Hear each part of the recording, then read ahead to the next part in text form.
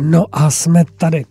Nebudeme vám samozřejmě lhát, nebudeme předstírat, nebudeme mystifikovat a nebudeme vás manipulovat, protože média samozřejmě to umí a umí to skvěle, mají na to krásné nástroje. Mají na to i krásné lidi, krásné moderátorky, krásní moderátoři, vyšňoření, hezky naladění, krásně intonují a říkají vám přesně, co si máte myslet, co máte dělat a, a jak to je a jak to není. Ale to není právě to, co bychom teď chtěli s vámi probírat, protože uh, jsem slíbil, v anotaci na dnešní večer, že si budeme s Jaroslavem Kuchařem a s panem Svobodou povídat o hodnotách, které utváří tento svět a vlastně utváří i to, co se bude dít dál. Ty hodnoty se různě proměňují a vybral jsem toto téma z toho jednoho prostého důvodu, jelikož se blíží Česká konference, poslední Česká konference, která bude uzavírat tu dekádu, tu slibovanou dekádu od roku 2009 až 2019, ve které se snažila hledat, hledat právě ty ty jednotící, jednotící hodnoty, které, na kterých by mohly různé mm, organizace, různá společenství lidí, ale i jednotlivci spolupracovat, aniž by si nerozuměli. Máme velice, řekl bych, opravdu doslova bohaté zkušenosti, k tomu se dostaneme a vybral jsem si jako hosta Jaroslava Kochaře, protože Jaroslav Kochař, dá se říct, je vlastně jedním z mála, kteří doprovází Českou konferenci. Myslím, že Jaroslave si vás pamatuju od, dru, od třetího ročníku. Od třetího ročníku, protože na těch prvních dvou byl Jan Kubín. Ale vy máte k sobě stejně blízko právě přes, tu, přes cestu, politické hnutí cesta. A hned další, kdo byl, kdo nás provází na konferenci takhle dlouho je Petr Hradil a občanský sněm. To jsou takové dvě skupiny lidí, se kterými jsme velice zpřízněni, jelikož jsme dokázali najít k sobě cestu nejenom, nejenom v myšlenkových, v myšlenkových proudech, ale i v těch hodnotách, kde si uvědomujeme, že bez toho se nemůžeme posunout dál. Uh, Jaroslav, já vás tady vítám, takže dobrý večer. Dobrý večer. Ještě jednou pana Svobodu. Ještě jednou dobrý večer. A panové, takže jsem tak hezky uvedl, nebo jsem schrnul, proč jsem vybral toto téma.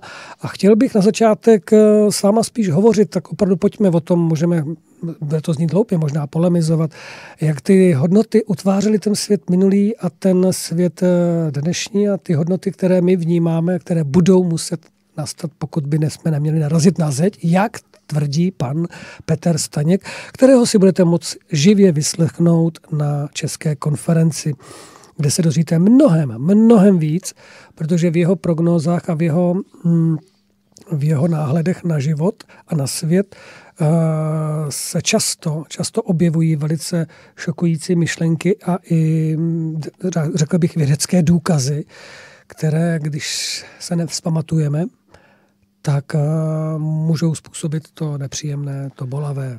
Ehm, já teda nejsem vystudovaný filozof, to je první, co bych chtěl říct.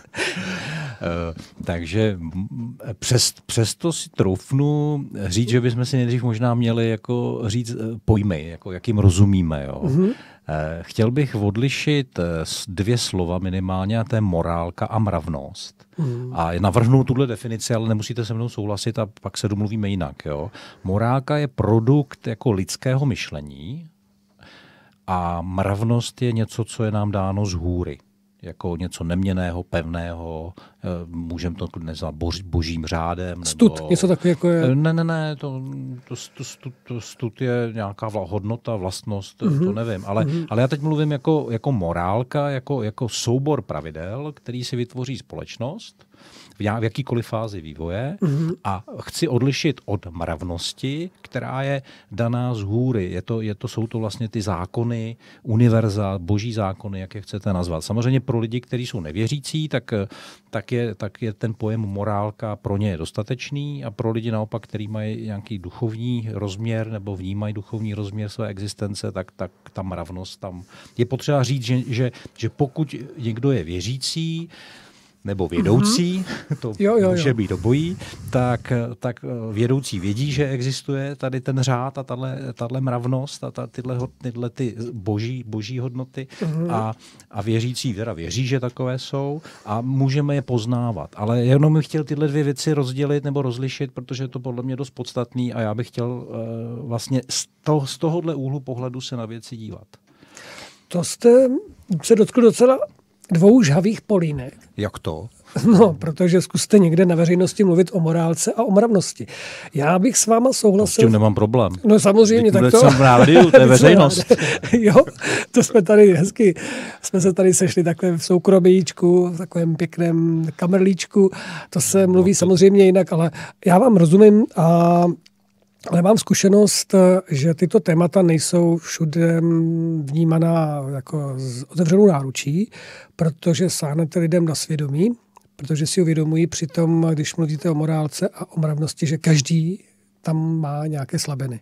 A v tu chvíli na ně saháte a v tu chvíli vlastně vnímají, že by měli něco s tím dělat a že by měli, pokud bychom se měli potom dál dotýkat těch hodnot, které potom směřují k určitému, já nevím, teď můžeme použít slovo lidskost, lidství, ale musíme teda na začátek dodat, že si nemyslím, že tu mravnost dostáváme z hůry. Tady bych, tady mám trošku jiný názor, ale tomu se asi dostaneme. O to bude ten dnešní rozhovor já, já možná jsem dostáváme, já jsem řekl, že existuje nezávisle na nás. A že naším úkolem, jeden z úkolů, který máme jako mm-hmm. v mhm. tom žití našem, tak je ji poznávat a čím, mm-hmm. víc, čím víc do hloubky. Mm-hmm. Ale je to něco, co existuje jo. Od začátku vzniku univerza. Dobře. A je to neměné, to je podstatné. Mm-hmm. Pane Svobodo, hezky to, hezky to začal Jaroslav. Myslím, že je nejvyšší čas, aby jsme začali taky. Takže vy, já jsem řekl, že tu druhou částí bych to pojmenoval jinak, ale k tomu se dostanu. A teď je na řada na vás. Mně se to pojmenování líbí a zatím vnímám právě třeba i ve slovech eh, pana Zdeňka Málera, která pronesl na té první konferenci to, kdy hovořil o tom, že je tady jakýsi mechanismus zákonů, které jsou v tom vnějším mhm.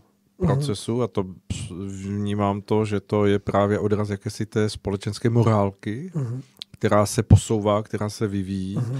ale pak, že jsou tady jakési zákony, které jsou nepsané, které ano. jsou žité a to já si stotožňuji uh-huh. s mhm. tím, že zatím je právě to, co vyvírá v té čisté podstatě lidského druhu. To znamená, že, že v tom je obsaženo to, o čem Jaroslav, aspoň pro mě, mhm. hovořil jak, jako o jakési rovině uh, té, té mravnosti, která souvisí s tím, kam se můžeme vyšvihnout v tom svém jednání vůči druhým lidem, vůči společnosti, no. vůči eh, nějakému mm, řádu, který, který je okolo nás. Já bych to upřesnil, protože rozumím tomu, co říkáte. Teda nebyl tu přednášku pana Malára, si natolik nepamatuju, abych byl schopen On tam to řekl interpretovat. Jenom tuhle tu větu tam řekl, jo, že, že to ale jsou nepsané zákony. To, ale, ale kdyby tady byl právník, tak, tak bude na, tak když řeknete nes, nepsané pravidla nebo zákony, tak, to, tak on to bude chápat tak, že ne všechno se dá kodifikovat jako do práva, Jo, už teď máme milion a půl právních předpisů že jo, v České republice, což je šílený a stejně všechno ne- neregulujou. Že jo. Takže je nějaká oblast jako toho, ale, ale, přes, ale to, to je jeden rozměr té věci. Ale druhý rozměr je jako ve smyslu právě toho, toho přirozeného práva, protože to je taky pojem, že dneska se mluví, dneska žijeme v takzvaném právním pozitivismu, ve smyslu, co je psáno, to je dáno, ale, ale existuje jako pojem přirozené právo, který právě vyvěrá jako z, týhletý, z těch eh, zákonů univerza, z božích zákonů.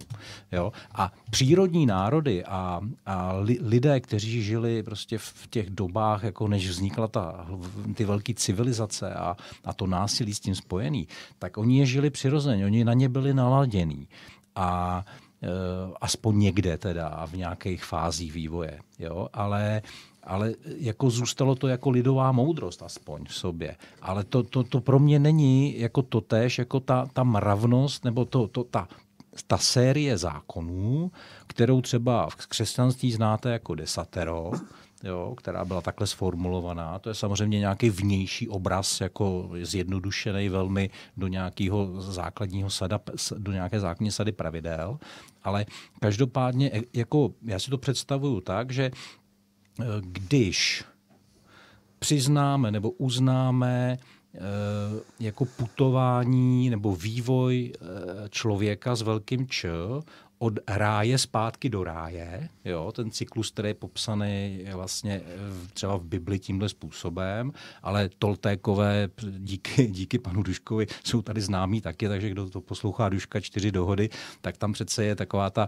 na začátku hned ta scéna, jak, jak ten pábu se nudí, rozdělí se na dvě půlky a jedna, jedna ta půlka se rozseká na, na tisíce kousků a ty pak hrajou spolu tu hru jo, na, že se vzájemně hledají. Ale ten princip, jestli si to uvědomíte, je stejný. To je o tom, že, že duše, duše se vydělí z té prapodstaty a rozhodne se jít tu zkušenost, ochutnat jablka poznání to dobrého jsme, a zlého. Jo, to jsme hodně přeskočili, protože... Ne, to jsme nepřeskočili. Já to, když mi to necháte dopovědět, tak já, já jako jenom, jenom, jenom řeknu jako ten výsledek. Jo? Takže pokud tohle to si uvědomíme a tohle je východisko jako mm. úhlu pohledu na, na, na to, co jsou hodnoty, mm. tak jenom chci říct, že ty hodnoty nereprezentují nic jiného, než to, co nejkratší cestu návratu do ráje.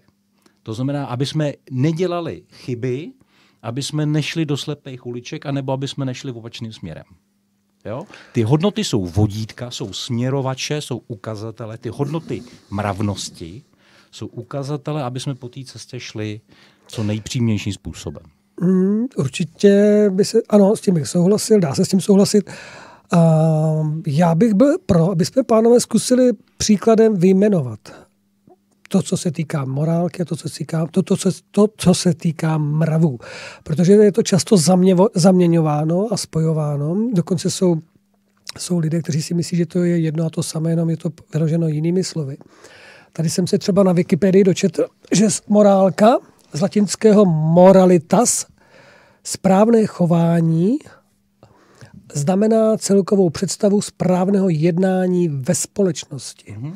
Ale z, já, vy jste to tak jako dal do, do protikladů, to já vůbec jsem takhle nemyslel. Ne, ne, teď pozor, teď mluvím za vás, teď mluvím no. za to ze, ze zkušeností. To znamená, mm. že uh, zažil jsem, že morálku a mravy to lidi spojí jako dovnitř, jako že to je jedna věc, kterou, že, to, že, mora, že ty mravy jste, že jsou vytažený z morálky. Ale Jestli jste, já, já jsem na začátku řekl, že navrhuju, aby jsme ty pojmy používali teď v téhle diskuzi Rozděleně. z, z tohohle, aby jsme to jako dobře chápali. Určitě. Jinak samozřejmě pro mě morálka je podmnožinou mravů v tom smyslu, ta společnost je na nějaký úrovni poznání. Ano. A na, ta úroveň poznání nějak reflektuje tu mravnost. A jako je to, má vysokou míru překryvu, o tom není sporu. Jo? Protože i e, ve škole, a já nevím, všude při tom všem se učí, že není, není správné krást a zabíjet lidi a tak dále a tak dále. A to je v desateru přece, že jo? Jako, jako určitým obrazu toho, no. toho, té mravnosti. Takže, takže e, to, tam je vysoká míra překryvu,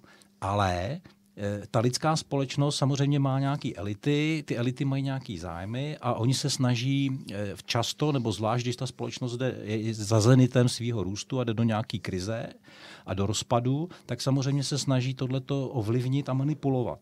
Jo? A, to je, to je, a to z téhle době samozřejmě jsme.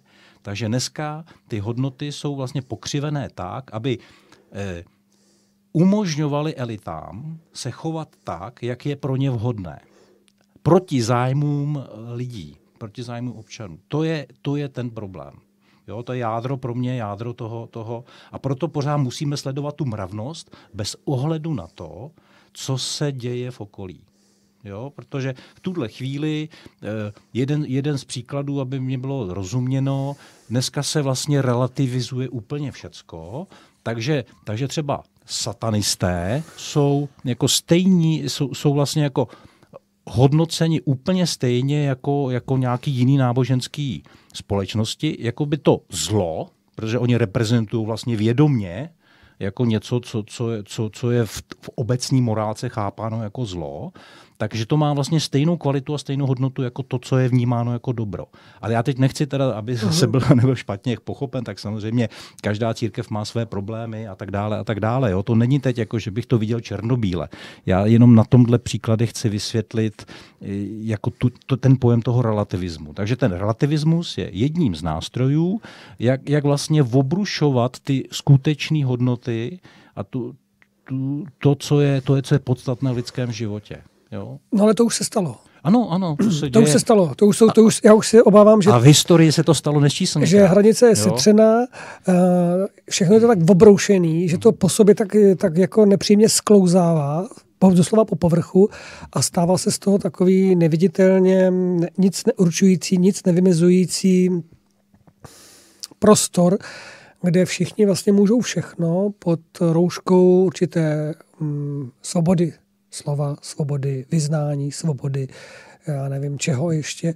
Zároveň do toho můžeme našrobovat demokracii a další a další věci. A tam se lidi v tom schovají. Ale bylo by možná dobré vyjmenovat, co teda je tou správnou morálkou, po které se teď docela často volá, nebo co obsahuje, aspoň něco, protože eh, teď je to pořád, pořád cítím, že tam není vysloveno, co to je nějaký příklad na něčem a, a co jsou ty mravy. Jestli bychom se toho mohli společně nějak dotknout, protože to jsou věci, které... Ono je totiž do, takhle, jak budeme mluvit, tak mluvíme jenom o pojmech. Ale jít do toho života a říct, tak kdybych to, kdyby jsem to měl vysvětlit, nebo bychom to jako my měli vysvětlit v páté třídě dětem. A budou se hlásit, tak co to teda je, pane učiteli, nebo pane kuchař? Tak, eh, Jak si to mám první, představit? První, co mě napadá, jo, a to samozřejmě teď se ne, taky asi nebude moc líbit, co řeknu, protože to je relativně přísné. Tak já vem, vemu to desatero, jo, to, že to všichni známe, tak hned první říká nezabiješ. Jo. No, naprostá většina lidí, když se řekne nezabiješ, tak samozřejmě mluví, o tom, nezabiju druhého člověka. Uh-huh. Jo, to je jako první vrstva. Uh-huh. Jo. My e, v hnutí máme sformulováno 12 lidství, a teď teda samozřejmě si nespomenu přesně na tu, na tu formulace, ale je to, je to něco jako významu ctím všechno živé. Jo? A ta, je to jinak, ta formulace, ale jako tenhle význam. Mm-hmm. A to s tím všechno živé má, má samozřejmě, je to to samé, co nezabiješ. Je to, je to jako Rozumím. určitě autor to myslel úplně stejně, protože to jde z hůry. Jo, jo? to rozumím. A, to, a je to identický, ale ne, jako nezabiju nebo s tím živé, tak co to znamená v mém chování? A teď počkej, zastavím vás. No. Tohle to by se zařadil do morálky nebo do mravu?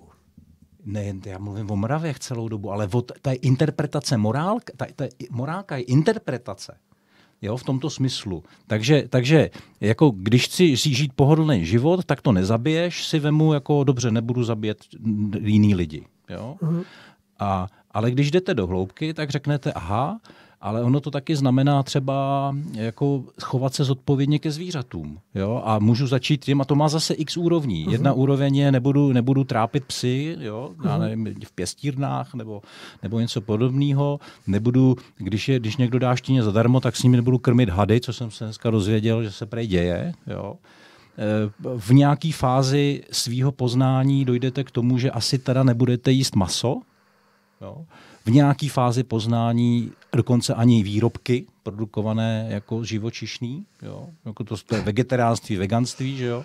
A není to přitažené trošku za vlasy? Eh, to nechám na, vaš, na posouzení každého. Hmm. Jo? Já, já- nech, nejsem Jasně. soudce ani, ani, Jo, jo. ani, ani kazatel, aby dal rozřešení. Jo? A, nebo, ale, ale jako jenom na tomhle příkladu chci ukázat, jak můžete jít eh, na té cestě poznání, Jo? A jak se to, jak se to, jak se to mění, jako, jak- do jaký hloubky. A to, to, takhle bychom mohli rozebírat vlastně každý, každou, každou tu věc. Jo? Kaž, každý z toho desatera třeba, řekněme. Jo? Ale samozřejmě mohli bychom použít jiný pojmy. Takže, takže tohle je e, zásadní a já bych jenom chtěl podotknout, že už Buddha řekl, že kořenem všeho zla je nedostatek poznání. A na téhle naší cestě eh, to poznání vlastně vede k těm správným hodnotám a žití těch hodnot, protože eh, ono to má ještě ten rozměr jako, jako chápu, eh, cejtím a chovám se. Jo? To jsou ještě různé věci. Jo? Takže, takže eh, je, to, je to cesta, která trvá jako dlouho pravděpodobně. Jo, Buddha mluvil o, o 25 tisících inkarnacích, než teda dosáhl osvícení, takže, mm. takže nevím samozřejmě, co je na tom pravdy, jenom jsem to někde četl. A tak, eh, tak tohle, je, tohle je z mého pohledu jako to podstatné. Kdybych to měl teď našim posluchačům trošku připodobnit, tak by to možná, milí posluchači, znělo asi tak, že bych teď Jaroslavovi třeba například odpověděl. Jaroslave, chápu vás, cítím to tak, ale chovám se jinak. Mm-hmm. Na veřejnosti, protože mm-hmm. víte, přece v té realitě to je trošku jinak. Všecka ta společnost se posunula. To teď už jako nemůžeme. Víte, ono to je sice hezký, já vím, že to myslíte dobře, ale pochopte, že v tom normálním světě byste jinak neobstál a některé prostě věci dělají to vlastně i politici a dělají to všichni, tak jako to skvělý. Tak teď jste popsal, proč jsme tam, kde jsme? tak tohle to byla taková jenom scénka, taková část to toho. Pane Svobodo, přidejte se. Já jsem přemýšlel nad tím, vy jste řekl zajímavý obrázek, jak to vysvětlit, dejme tomu dětem v nějaké páté třídě, tak mi přišel takový obraz, že bych asi hovořil o tom, o těch dvou věcech, které na sebe navazují v tom mém pohledu té, té, té morálky a mravnosti a, a zkusil bych si jim popsat uh, situaci, že uh, je jakási křižovatka, po které jezdí auta, jezdí, jezdí po hlavní ulici a teď uh, vlastně, jak to tak bývá, jsou přetížené oba dva proudy a z toho protějšího proudu chce odbočit auto do, do, vlastně přes ten protijedoucí pruh do, doleva. A samozřejmě ta auta, co jedou v tom proti uh, jedoucím proudu, uh, jedou pohlavně, takže mají všechno právo jet podle pravidel, podle té nastavené morálky a jedou. A je jim jedno, že tam je ten řidič, který chce odbočit. A pak e, nastane taková situace, že, že v tom proudu těch jedoucích aut je někdo, kdo si uvědomí, že ten druhý tam stojí, za ním je dlouhá řada aut a, a, a vlastně on se vžije do té situace, jak by se cítil ten e, na tom jeho místě a přibrzdí, blikne na něho, ukáže mu a pustí ho. A mně přijde, že, že to je nastavení nebo promítnutí toho jakéhosi vyššího mravu, který se odrazí do toho, že, že když ten protiroucí řidič díky tomu může odbočit, tak si uvědomí, že jsou věci, které eh, jako posouvají ta pravidla a, uh-huh, a, a mhm. vždycky v sobě nesou jakýsi uh, rys uh, spolu procítění, spolu nacítění, uh-huh. spolu prožití uh, toho, co ten druhý prožívá a, a hledá cestu, jak, jak mu možná víc vstříct nebo jak mu pomoci. To znamená, že bychom mohli s čistým svědomím říci, že mravy, eh, pokud budeme, že s mravy souvisí eh, cítění, v cítění se, vnímání a tam už potřebuje člověk daleko větší schopnost um, svého, ne rozumu, ale řekl bych, empatie, empatie cít... srdce, duše, duch, něco. Přítomnosti v cítování se do toho, do toho, jak ty druzí prožívají tu svoji situaci a snažit se jim možná najít nějakou cestu, jak jim víc vstříct. Takže to by se dalo říct k těm mravům. A to, to, to patří ale, k morálce. Ale, ale ne, já vím, těch, já, tak... já, já, já, když to dopovím, Eh, ten, ten řidič, který tohle prožije, tak svým způsobem eh, si to může vzít pro sebe, že, že i on se příště tak zachová, protože si to eh, jako vyzkoušel, že to, že to je dobrá věc. A tím opakováním se, se, se z toho vyvíjí něco, co posouvá tu morálku jako něco, že se stává samozřejmostí, jakousi ohledu plností. Ano, ano. A možná z toho vznikne potom jakési pravidlo, které, které prostě vnese do, do, do nějakého silničního provozu větší ohledu plnost a stane se to morálkou silničního provozu. Panové, já totiž jenom se snažím s těmi otázkami, uh, jestli opravdu eh, posluchač nebo naše posluchači, ať to jsou děti nebo dospělí, eh, můžou nebo máme nebo ve společnosti rozdělovat striktně morálku a mravy, nebo to je tak prolnuté, že se těžko dá mluvit o jednom a nezmínit se o druhém, protože... Eh, Karle, vy jste mě neposlouchal tak jste to možná řekl tak... A nebo jsem to řekl tak špatně, Takže jsem vás nepochopil. Že jste mě nepochopil. Nepochopil, tak mě řekněte ještě jedno. Jo, jo, jo.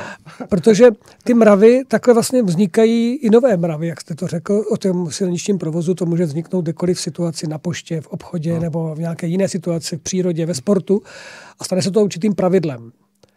A jestli jste potom to pravidlo potom nepřenáší právě, že se stává vlastně zároveň to pravidlo. Jo. Jakmile je něco pravidlem, jestli se nestává potom morálkou. Jest, já, já teda zkusím do toho vníst ještě jednou teda řád nějaký. Jo.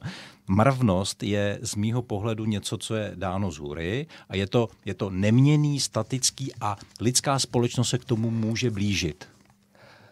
Jo, je to, je to, je to meta. Je to a dostali cíl. to všichni Prosím? Dostali to všichni. Jak dostali? No všichni lidé to mají.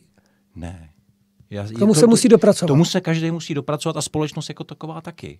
Jo. K té mravnosti. K té mravnosti. To znamená, že ta mravnost jako existuje někde kolem nás nebo v nás? Je to, je to, je to, jsou to zákony. Jsou to pravidla chování, Já, tak nebo které umožňují... rodím se s tím, s určitou uh, schopností mravnosti, nebo k ní musím dojít svým věděním a poznáním? Do, docházíte k ní poznáním, ale teď je otázka zase, se na to díváme z pohledu ega nebo duše, jo? takže to, by, to ještě jako komplikovaný z tohle pohledu.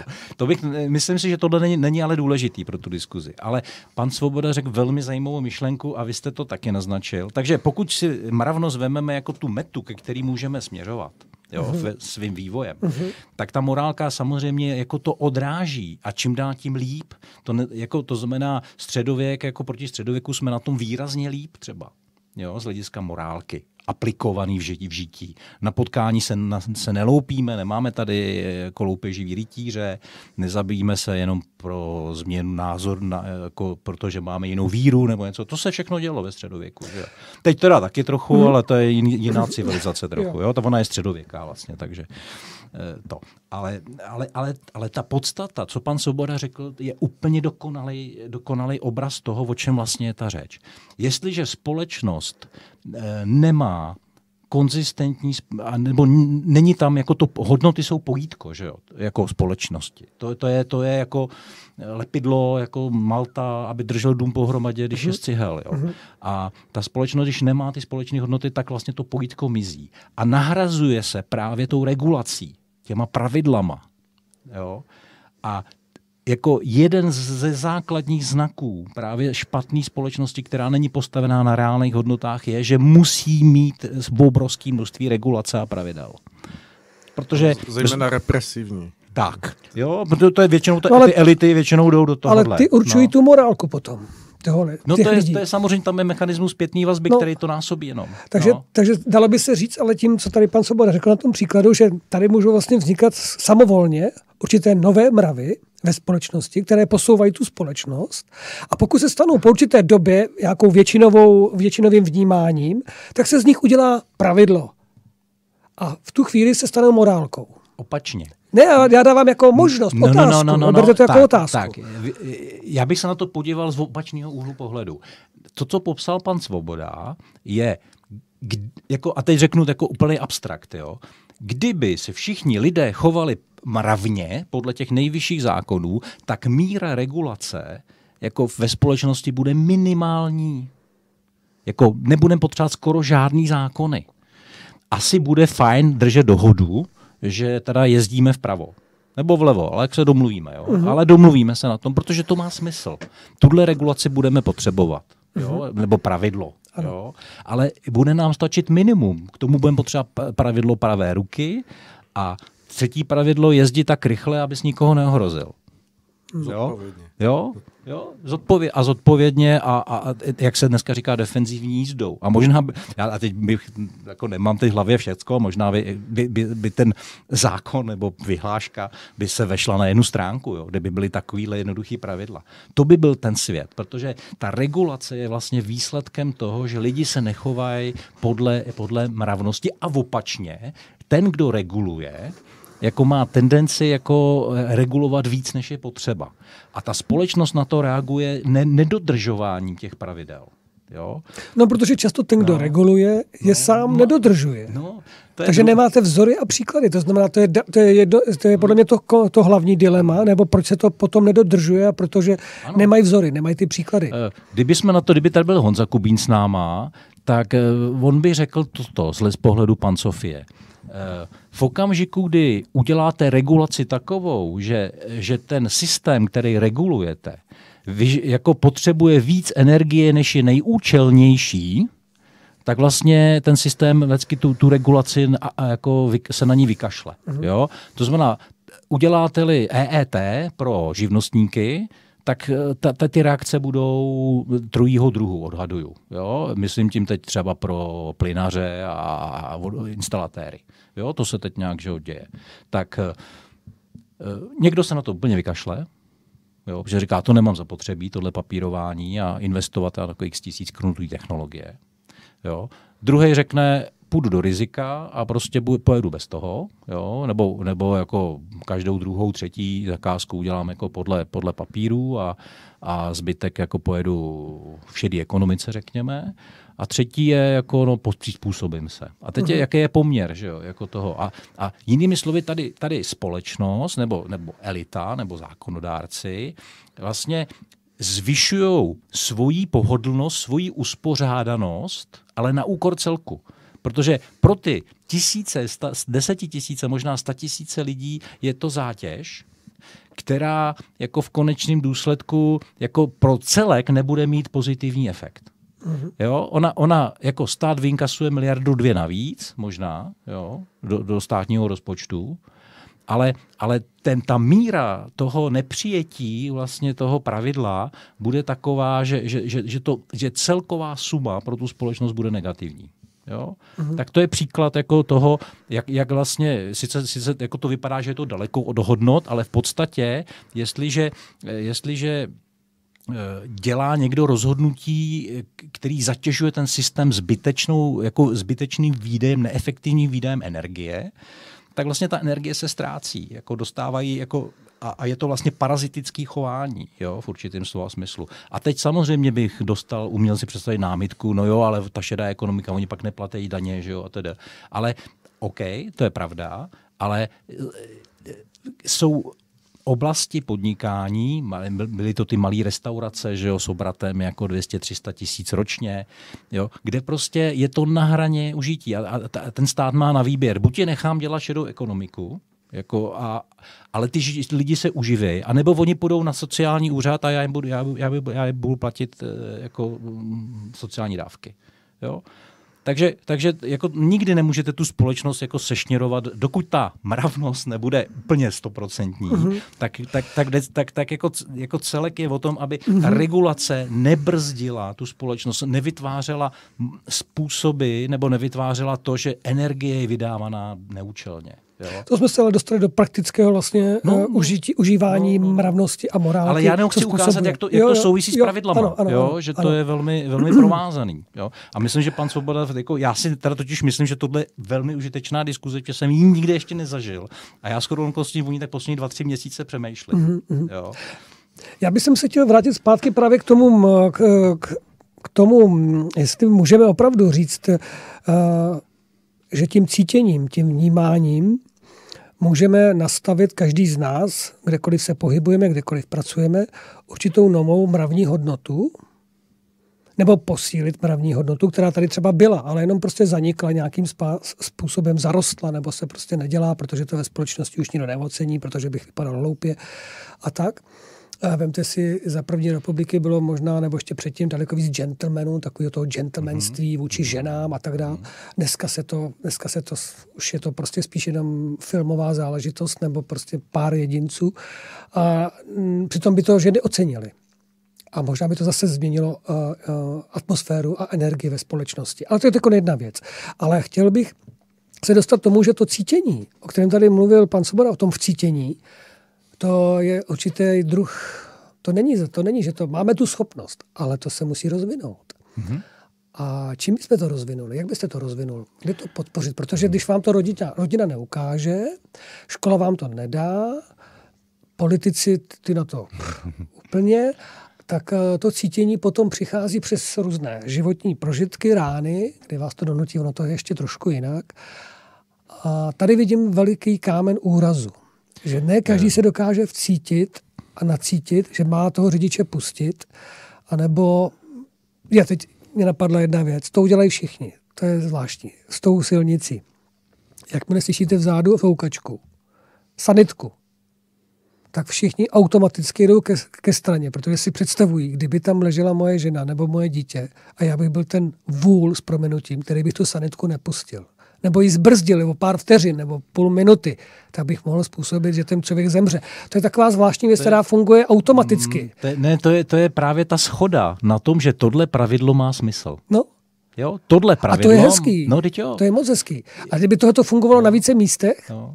Uvědomme si ještě jednu věc, jo, že e, ta společnost, jak, jak e, roste počet lidí na kilometr čtvereční, jako hustota osídlení a, a složitost té společnosti, tak ty, jako, jako to dilema vlastně je, e, jak, jak, jakou úroveň regulace potřebujeme, jako co je skutečně potřebný, protože představte si teda, když jsme u toho silničního provozu, že jsem sám na pustém ostrově, je tam jedna silnice a mám jedno auto a nikdo jiný, tak žádný pravidla nepotřebuju.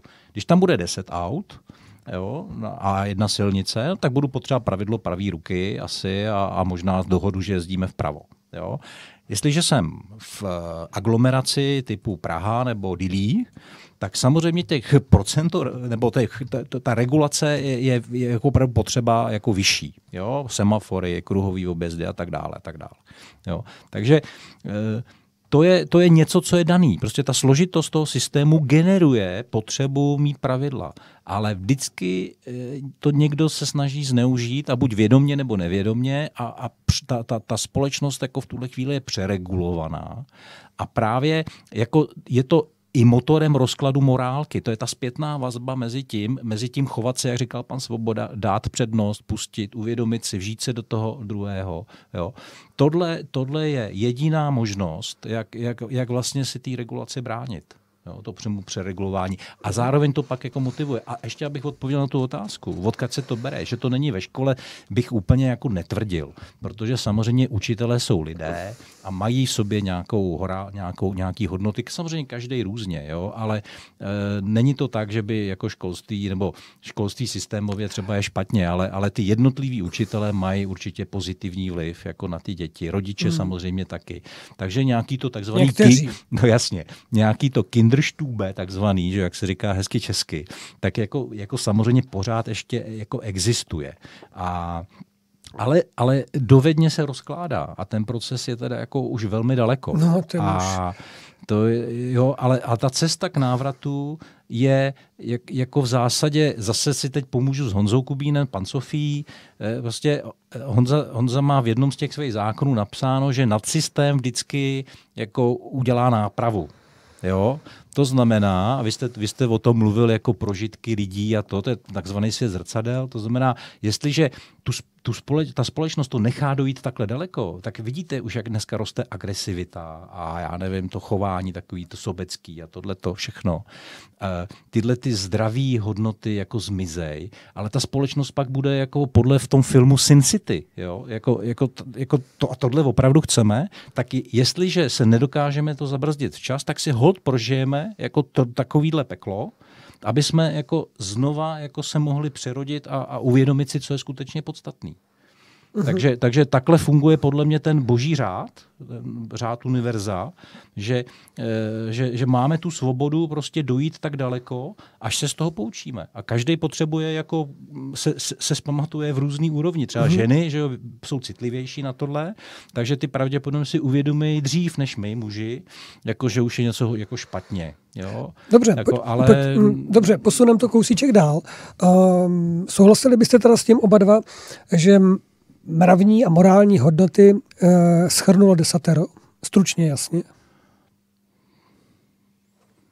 Bez pochyby, když si vezmeme civilizaci před čtyřmi tisíci lety, aby teď doufám, že někdo nechytí za slovo, to není úplně přesně čtyři tisíce let, ale v tu dobu, tak já myslím, že v té době to bylo jako absolutně eh, potřebný a určitě to pomohlo v té společnosti se nějak jako naučit fungovat spolu. Jo, byl to průlom. Pane Sobodo? Tom žádná.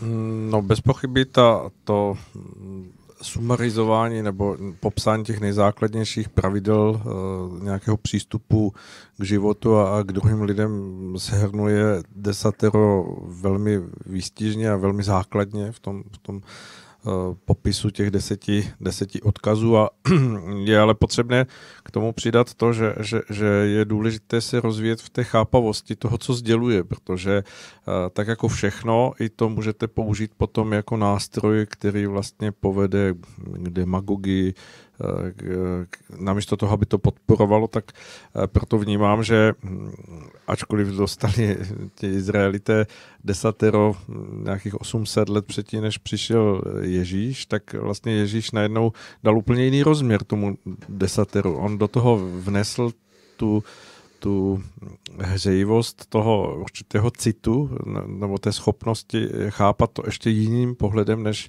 než to, že když se někdo proviní proti desateru, tak je vyvlečen za vesnice a ukamenován. Takže to je jako zcela zásadní nedílná součást, k čemu by mělo všechno nějaké podporování lidí regulemi nebo mm, nějakými určitými pravidly vést, aby eh, hledali osobní zodpovědnost, rozměr osobní vědomosti, spolužití v té společnosti. Nebyl to právě moment určité schopnosti odpuštění, hoď kamenem, kamenem kdo jsi bez viny, kdy vlastně tam ta, tahle ta situace přinesla právě ten rozměr toho, že každý udělá chybu v životě a neznamená to, že by měl být hned zabit a zničen. Bez pochyby. Já se domnívám, ale že jsme tady přeskočili mm, jako pro možná ten český národ nebo vlastně tu entitu, ve které tady žijeme, společenskou základní kámen, protože my, jsme, my se tady bavíme o věcech, které nám jsou víceméně srozumitelné, protože vycházíme z toho, že, že ta podstata našeho života je součást nějakého bytí, které má přesah eh, přes hranice tady toho pozemského ano, světa. Ano. Ale já se domnívám, že, že velký kámen úrazu pro mnoho lidí spočívá v tom, že tam chybí tento dohled. Za, za tu ano. hranici jo. toho, že žijeme jednou a ano. teď a teď se to všechno musí ano. zužitkovat ano. v tom ano. maximálním toho, co, co se eh, jeví jako, jako, jako výdobytek toho mhm, prostě mm-hmm. mm, způsobu nehledění na tady ty hodnoty. To znamená mm. na úkor druhého. Eh, vždy to známe mm. z, mhm. toho, z toho našeho dřívějšího času, kdy to heslo, kdo ne, nekrade, okrádá rodinu, mm, mm. bylo víceméně tou určující morálkou do, mm, mm. do určité míry toho společenského vnímání. Jít přes mrtvoly, ostré lokty, nevzdávat to tady v těch směrech. Ale já bych se chtěl ještě tady k tomu dostat, trošku to posunout, tak malinko jsem rád, že jste to, pane Svoboda, zmínil, protože uh, právě na desateru si mnozí můžeme uvědomit dvě důležité věci, nebo jednu důležitou věc, která záleží, jak se na ně podíváme. První tři zákony se vlastně vztahují člověka k Bohu. A ty zbývající člověka k člověku. A já si právě, samozřejmě tady nebudeš, když si vezmu ty první tři, nebudeš mít jiné bohy, nebudeš zneužívat mého jména, budeš zachovávat den odpočinku. Ty se stavují, stavují opravdu ve vztahu k toho lidí, kteří jdou za hranici svého vnímání a jsou schopni přijmout, že náš život eh, není jenom materiální a že smrtí život nekončí. Nebudu to dál rozebírat, ale ty další, za čtvrté budeš ctít otce matku, za páté nebudeš zabíjet, za šesté nebudeš cizoložit, za sedmé nebudeš krást, za osmé nebudeš lhát, za deváté nebudeš žádostiv děchtit po ženě svého bližního a za desáté nebudeš závistivý ani chamtivý. To jsou věci, které se ve společnosti ale samozřejmě neustále odehrávají. To je důležitá, důležitý postřeh, kdy si lidé na desateru právě můžou uvědomit, že opravdu ty první tři jsou základními kameny pro to, abychom eh, měli to spojení s Bohem z hůru, tam si to nějak vyjasnili. A, ale jak jste řekl, pane Souda, je mnoho lidí, kteří to, takhle nebudou mít, ani nechtějí tak takhle mít, ale přesto si myslím, že kdyby teda se odrazili od toho čtvrtého až do toho desátého a řekli, tak to teda budeme dodržovat, tak by to možná k těm třem ještě došli. Ale teď je to otázka, protože Eh, tam je spousta věcí eh, od toho čtvrtého zákona až po ten desátý, které se samozřejmě dějí dnes a denně. Neustále, v různých podobách, v různých obměnách. Já bych k tomu ještě dodal jednu věc, to nezabiješ. Totiž uh, jsou, to má ještě vyšší level, Jaroslav řekl ten druhý, já bych posunul to na třetí level. A tam je to nezabiješ ještě ani v myšlenkách že i myšlenka má obrovské, slovo má obrovskou moc a nesmíme zabíjet eh, ty krásné myšlenky v lidech, nesmíme je zabít eh, někoho tím, že mu ukradnete jeho nápad, jeho myšlenku, jeho vizi. A to všechno je zabíjení. A to, to bych se chtěl právě k tomu Můžu, dodat. Já, já jsem to měl teď na jazyku. Jo? No, no, no. Uh, tak... jsme v nějakém spojení. My jsme tady všichni ve spojení. Já jsem, já, jsem, já jsem chtěl citovat uh, vlastně perský. Eh, Peršani měli ne desatero, ale vlastně jenom tři a taky vzniklo někdy v té době a teď mhm. plus minus tisíc let. Jo. To teda samozřejmě nejsem znalec dějepisu. A není to podstatné ani. A oni, oni říkali jenom přesně tohle, eh, mysli pozitivně, mluv pozitivně a jednej pozitivně. Tak si představte těch sedm nebo deset zákonů jako, jako, jako sloupce v tabulce a tady ty tři jako, hmm. e, jako to, a, a, e, jako, jako řádky. Jo? Hmm, hmm. A teď to vyplňte si ty buňky, co tam budete, co tam no, dostanete. Ale a to je přesně ono. Ano, no. ale víte, co je zvláštní? Že čím jdete víc do historie, hmm. Opravdu víc a víc do historie, tak zjistíte, že se to víc a víc zužuje ne na desatero, ale na třeba na patero, na teď to už jenom tři. A kdybychom šli možná ještě dál, tak to bude ještě jasnější a zřejmější, ale čím víc jdeme směrem sem k nám, tak my nakonec tomu desateru potřebujeme všech těch 70 tisíc zákonů a při vyhlášek, aby jsme se vůbec dokázali snést a, a žít slušně, nebo žít, aby jsme se tady nepozabíjeli. Takže čím jsme vyspělejší, čím o sobě tvrdíme, jak vládneme zemi a světu a jak jsme všechno nějak jako přežili a, a mm, vytvořili, hmm. tak potřebujeme daleko víc těch usměrňovačů a těch příkazů a zákazů, což vlastně ukazuje, že se v tom už absolutně nikdo nevyzná, protože teď, jak, teď vás chytím za slovo, nebo spíš ty peršany, řekl by kdokoliv tady, no ale co je pro vás pozitivní a pro mě pozitivní? To, co vy vnímáte jako pozitivní, to pro mě pozitivní nemusí vůbec být a proto si budu dělat já, co je pozitivní a dělá to dobře mě protože to vnímám jako pozitivní. A tady se dostáváme do té relativizace, kdy přesně ty lidi relativizují už dneska úplně všechno. To, to, a tím ta hodnota o, samozřejmě... O, o relativizaci jsme mluvili, ale tady, tady jako znovu kořenem všeho zla je nedostatek poznání. Takže pokud, pokud jako, jako ta úroveň, o který mluvil pan Svoboda, že, že teda jako uh, nevidím, nevidím ten přesah duchovní a žiju vlastně ten materiální život jenom, tak to samozřejmě znamená, že, že ta morálka je o to těžší. Ale přesto jako uvědomme si, že, že jsou lidé a jich je hodně, kteří jsou jako v fozovkách nevěřící nebo nevidějí ten duchovní přesah a přesto se chovají slušně. Oni vevnitř mají v sobě něco, to, jako, jako, jako podle mě to není kritérium, podle kterého bychom to měli jako posuzovat hmm. vůbec, jo? jestli někdo je nebo není. Ta, ona totiž i ta, i ta slepá víra potom jako v nějak nějaký konkrétní, ten, tak, tak tam může víc taky jako k určitýmu zlu a taky vedla v minulosti. Teď si podívejte na islám, že jo. jo? To, je, ne, to, je, to, je, to je stejný riziko jako jakákoliv jiná ideologie. Takže, takže jako tohle to není pro mě měřítko, to je první věc. A druhá věc je, že, že vlastně to poznání jako postupně, postupně v té společnosti by mělo růst. A když teda jenom za sebou reagovat na pana Svobodu, tak jestliže jako 12, teda 10 jako přineslo to, co nedělat, jo, zjednodušeně, ono to není úplně přesný, ale teď to fakt zjednodušuju. A Ježíš přinesl z mýho pohledu bezpodmínečnou lásku do toho. To je úplně jiná energie, úplně jiná kvalita. Jo? A, a a to je, to je ten impuls, který, který vlastně dává člověku jako tu, tu svobodu eh, chovat se v první řadě podle desatera a v druhé řadě podle Ježíše. Jo? A, to je, a to je tak ten okamžik, že eh, já dodržuju pravidla, to znamená jedu na hlavní, tak nikoho nepustím, tak to je pro mě jako desatero v tom takovém tom hrubém významu zase, jo? protože ono samozřejmě bylo z hůry zase a má, má, ty kvality tam jsou bez pochyby, jo? ale v tom i té interpretaci je to takhle. Když to, když to z pohledu Ježíše je právě přesně to chování, pustím tě, protože cítím, že, že, že, že to mám udělat a že to potřebuju. Takže my jsme, my jsme v energii, jako z, a teď mě neberte úplně jako za slovo v tom smyslu, že, že to myslím doslovně, ale z mýho pohledu jsme v době, kdy vlastně jako ten starý zákon jako, jako přestává platit jako v tom smyslu, že, že, že je to pryč a že teď už vlastně plně nastupujeme do doby nového zákona, to znamená té bezpodmínečné lásky a toho, toho je, těch Ježíšových kvalit, jo, mm-hmm. který jako přináší. Mm-hmm. Takže takže uh, bude to asi bolet, ale, ale to je ta doba, ve které teď z mého pohledu žijeme a samozřejmě nesouhlaste se mnou. Jo? To, mm-hmm. to je prostě můj věm, který, nebo vhled, který jsem jako několikrát měl. Mm-hmm. Milí posluchači, posloucháte rádio Bohemie, máme za sebou první hodinku s Jaroslavem Kuchařem, s Alešem Svobodou na téma morálka, mravnost a hodnoty, které utvářely a utvářejí tento svět. Za chvilku jsme zpátky.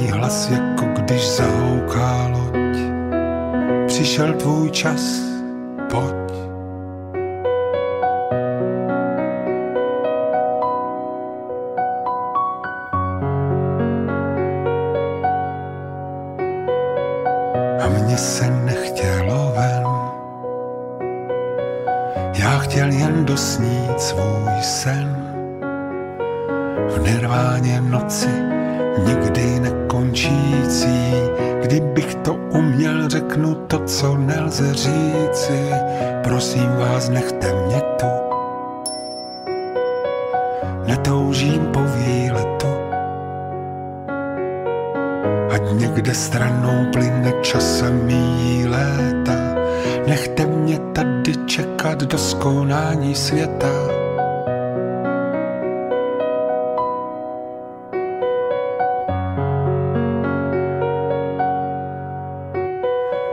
Vše, co je tady a teď, je dům a kolem něj zeď. A za tou zdí v dálce lehko vážné, na večer planou naše ohně strážné a jednou vydám se tam.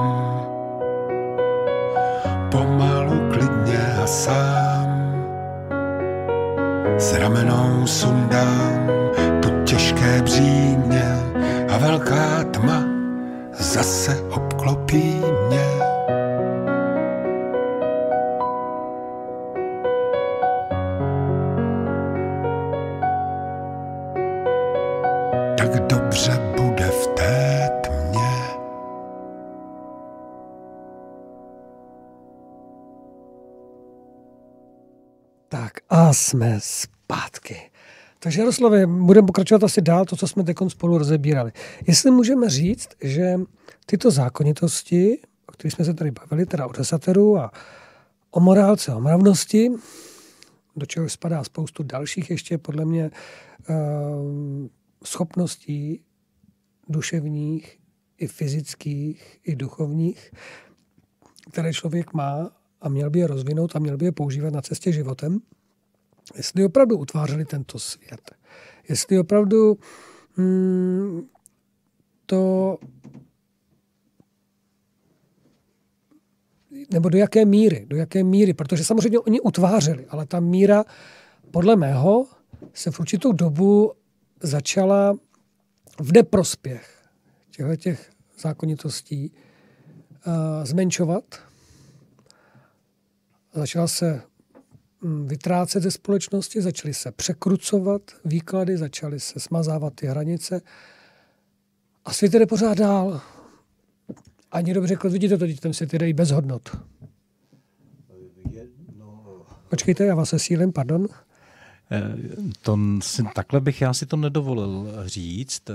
Z mýho pohledu vlastně tím, a teď se teda vrátím k těm biblickým obrazům, jo? Mm-hmm. ale mluvím, je to jenom obraz, mluvím samozřejmě o principu. Jako to, to, ten, to vyhnání z ráje a ochutnání jablka, poznání dobrého a zlého, tak v tom přece je inherentně, jako vnitřně zakódováno, zakódovaný ten princip toho hada, toho pokušitele. Jo? To znamená, ta, ta, ten, no, vývoj, to, to, ten vývoj té lidské společnosti, tohle má v sobě jako zakódovaný. A jako je, je, je to všudy přítomný princip. Je to, je to princip, který je prostě je zakódovaný v tom univerzu.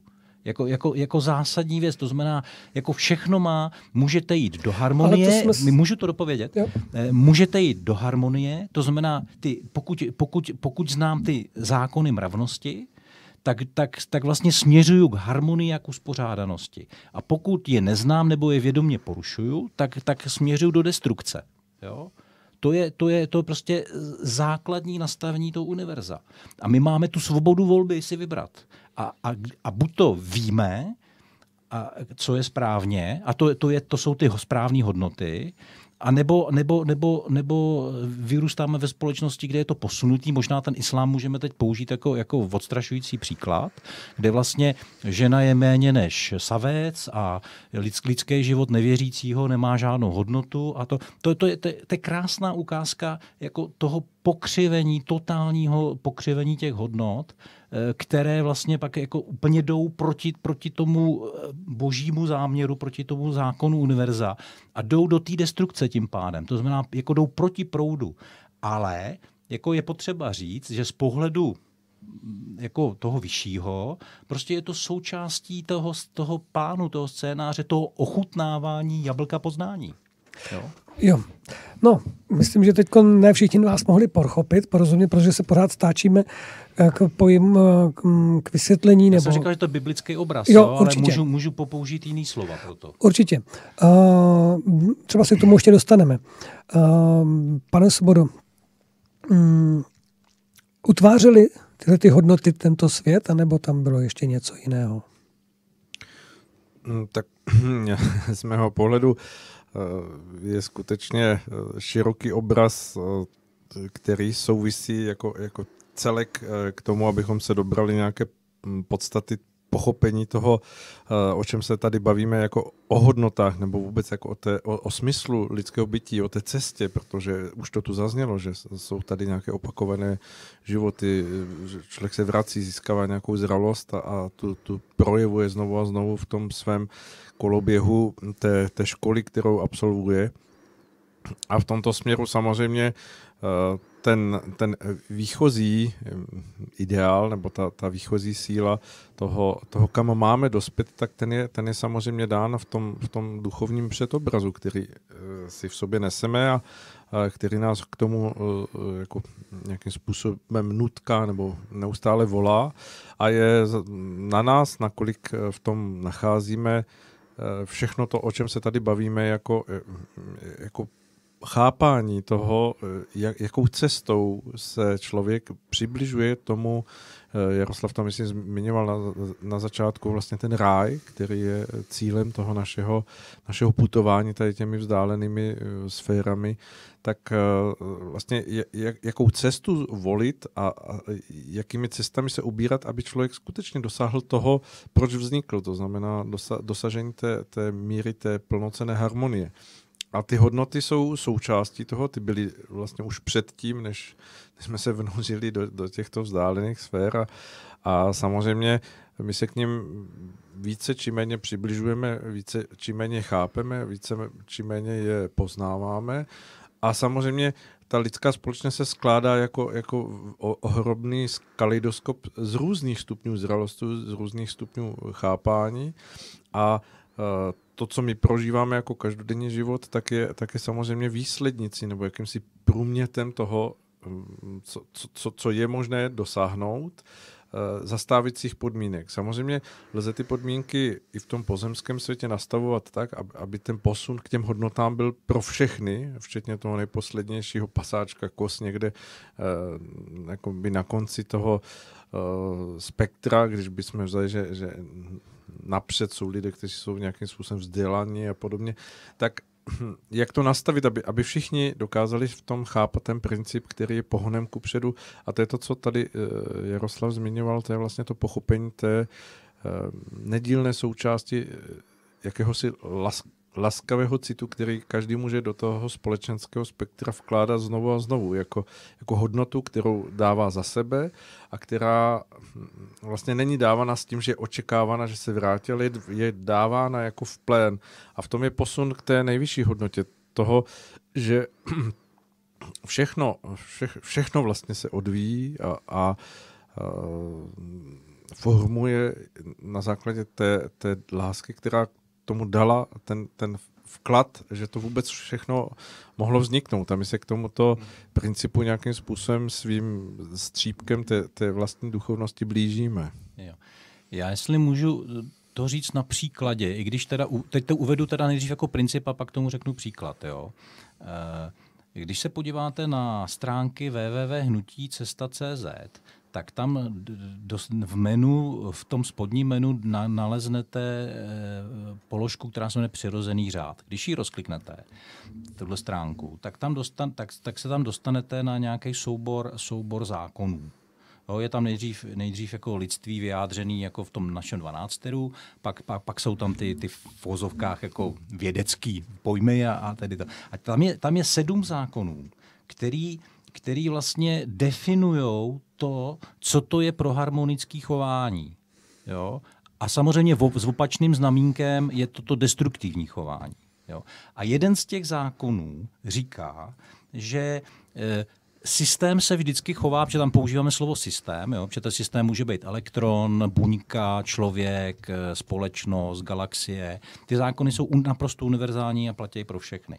A ten jeden z těch zákonů říká, jako chceš-li směřovat k harmonii, tak, tak vlastně musíš rozdělovat energii e, jako rovnoměrně do celého systému.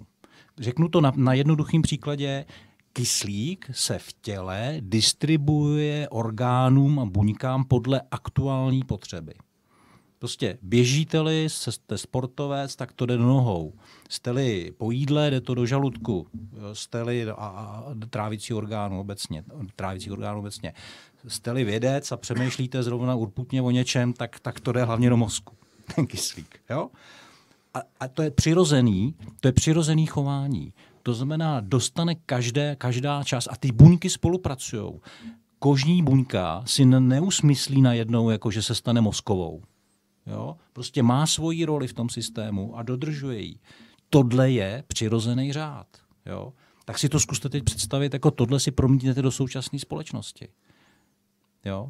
A teď jako samozřejmě, te, jako když to, bych to vzal ad, ad absurdum, tak samozřejmě jako by to znamenalo nulovou prostupnost ve společnosti v různých sociálních prostředích. To samozřejmě jako nemůžeme brát takhle doslovně, ale jde o ten princip. Jo? A to je, to je to, že chceme, jako jinými slovy, pokud nedodržujeme tenhle ten princip, tak vlastně jako vždycky jdeme do destrukce.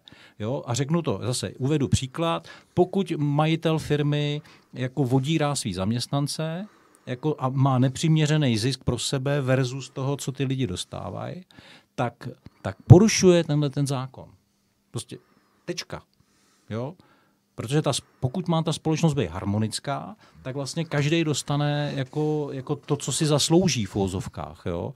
nebo to, co potřebuje, jo? aspoň v minimu. Jo? A samozřejmě teď, jako o tom je celá politická diskuze, když teď, jako, jo, teď, teď úplně zobecňujeme jako opravdu na tu absolutní podstatu. Takže samozřejmě eh, tohle, tohle pak, pak je v těch zákonech a paragrafech a, a zákonnících práce a minimálním mzdách a já nevím, kde všude je to zobrazený. Ale je to o tom letom. Ale teď si zase představte, a, to, a teď zase navážu, na tu regulaci. Jo. My tuhle regulaci potřebujeme, protože se nechováme podle toho přirozeného řádu. Kdyby jsme se chovali, tak každý majitel firmy se postará o to, a neříkám, že takový nejsou, naopak, jako vím, že jsou, jo. tak se každý majitel firmy postará o si lidi, aby, aby fungovali a mohli žít spokojený životy. Jo. A dělal to Baťa už před stolety a dneska to dělá spousta podnikatelů, ale jsou takový, kteří to nedělají a ty jdou proti tomu řádu. Jo? A ta společnost, jako v okamžiku, kdyby, kdyby se všichni chovali vlastně třeba podle tohohle pravidla, z jednoho z těch sedmi, tak je vlastně úplně jinde. A nepotřebuje ty regulace, váží se jeden druhýho, je tam ten cit, jak, jak říká Karel. Jo? Tohle všechno by jako fungovalo. Takže to je jeden, jeden z těch sedmi zákonů já doufám, že to bylo srozumitelné. Já si myslím, no. že ano, já, asi se to dá doplnit tím, že stejně tak jako ten majitel, tak i ti lidé, kteří jsou v té firmě, tak by měli mít schopnost toho určitého nacítění se a ve chvíli, kdy třeba ta firma prochází nějakým obdobím, dejme tomu, eh, že, že se jí úplně nedaří a podobně, tak vlastně by tam neměla být ta bezohlednost, že je to nezajímá, že to je vlastně... Přesně, to je druhá strana mince, děkuju. Ano. A to je nesmírně důležité vyvážení, protože samozřejmě ve chvíli, kdy, kdy, kdy, kdy tam toto samočinně pracuje, tak se dá hovořit o tom, že tam vzniká ten soulad k té harmonii a k tomu vzájemnému chápání. Mimochodem, já se víte, že se živím eh, jako poradenstvím 25 let nebo jak dlouho firmám. Jo. Eh, firmy, jako a zabývám se tím, četl jsem spoustu knížek, firmy, které jsou nejúspěšnější a ve své ve době znamenaly nějaký průlom, tak přesně tenhle mechanismus tam fungoval. Nebyl to boj vevnitř těch týmů, ale spolupráce. A opravdu jako až nezištná. Jo? A to, to byl ten okamžik, kdy ty firmy vyrostly, vystřelily nahoru a staly se jako třeba i světově, světově známejma. Jo? A teď si představte, že by takhle fungovala celá společnost. Samozřejmě je to, je to tak, že, že vlastně a možná se můžeme vrátit zase do té reality, protože hm, v tom vnímání hm, třeba toho společenského nastavení, když se člověk setkává a teď samozřejmě to dávám jako příklad eh, s tím, že eh, se jedná o nějakých eh, hm, schodách navýšení mest, tak, tak vlastně každá z těch stran jako v očekávání toho, že ta druhá si urve víc, tak přichází s jakousi horší nabídkou na začátek, to znamená, že, že navýšení mest je nižší, než, než uh, vlastně by teoreticky mohlo být. A požadavek odborů nebo těch lidí, kteří chtějí jakoby do navýšení, tak je vyšší a očekává se, že výsledkem je, je, je vlastně jakási, hm, jakýsi kompromis, na kterém se potkají, ale z pravidla výsledkem je to, že, že, že mnohdy odchází obě dvě strany jako sice s dohodou, ale pocitem jako hořkosti, že mohli utrhnout víc. A já si myslím, že tam je ten, ten, to naladění té společnosti, že, že, že chybí ta důvěra a, a jakási otevřená hranice toho, aby lidé do té interakce, dejme tomu ta, te, takovéhle druhu spolupráce, vstupovali s tím, že skutečně jako chtějí hledat ten nejlepší konsenzus. Mm-hmm. Skvělý. Úplně naprosto s váma souhlasím, jenom jste možná nevědomky popsal vlastně, jak funguje boj. Jo? Tohle to obchodní vyjednávání neběží samozřejmě jenom jako zaměstnavatel, zaměstnanec, to běží na všech, jako rovinách, na, na všech rovinách obchodních vztahů třeba. Že jo? Je, to, je to běžná takzvaná obchodní praktika, dneska se nad tím nikdo ani nepozastaví. Že, že to, no. Svým způsobem i nastavení je, daní vůči lidem je tak, stejné, protože tak, se předpokládá, aby se jo. vlastně vybralo víc. Tak. A to se stalo standardem. Tak, ano. Ale, ale jako, když, když my, my v hnutí říkáme, že, že žijeme ve společnosti boje, a že, že chceme společnost spolupráce, tak to je přesně tenhle ten kvalitativní rozdíl. Jo? A samozřejmě můžeme říct, že to je science fiction a, a jako jo, ale, ale někdo musí ten obraz jako vytvořit. As, aspoň ten obraz, tak my jsme to vzali za sebe, že vytvoříme ten obraz spolupráce. A, a, a, a v takové společnosti, kde by byla spolupráce, ne ten boj, tak by, tak by se hrálo, a teď teda já neznám český, český výraz, tak si dovolím anglikanismus. Jo? Je, je to takzvaný, takzvaná hra win-win, ale vy jdete do toho jednání s tím, že ta druhá strana jako taky vyhraje že vy hrajete taky. A, a v okamžiku, kdy jdou do toho obě strany, tak vlastně ten prostor té dohody není vymazený negativně, ano, ano. ale pozitivně. Tak. Jo, a teď nevím, jak to znázornit, že teď jsem to ukazoval rukama tady ve studiu, jo, panu Sobodovi.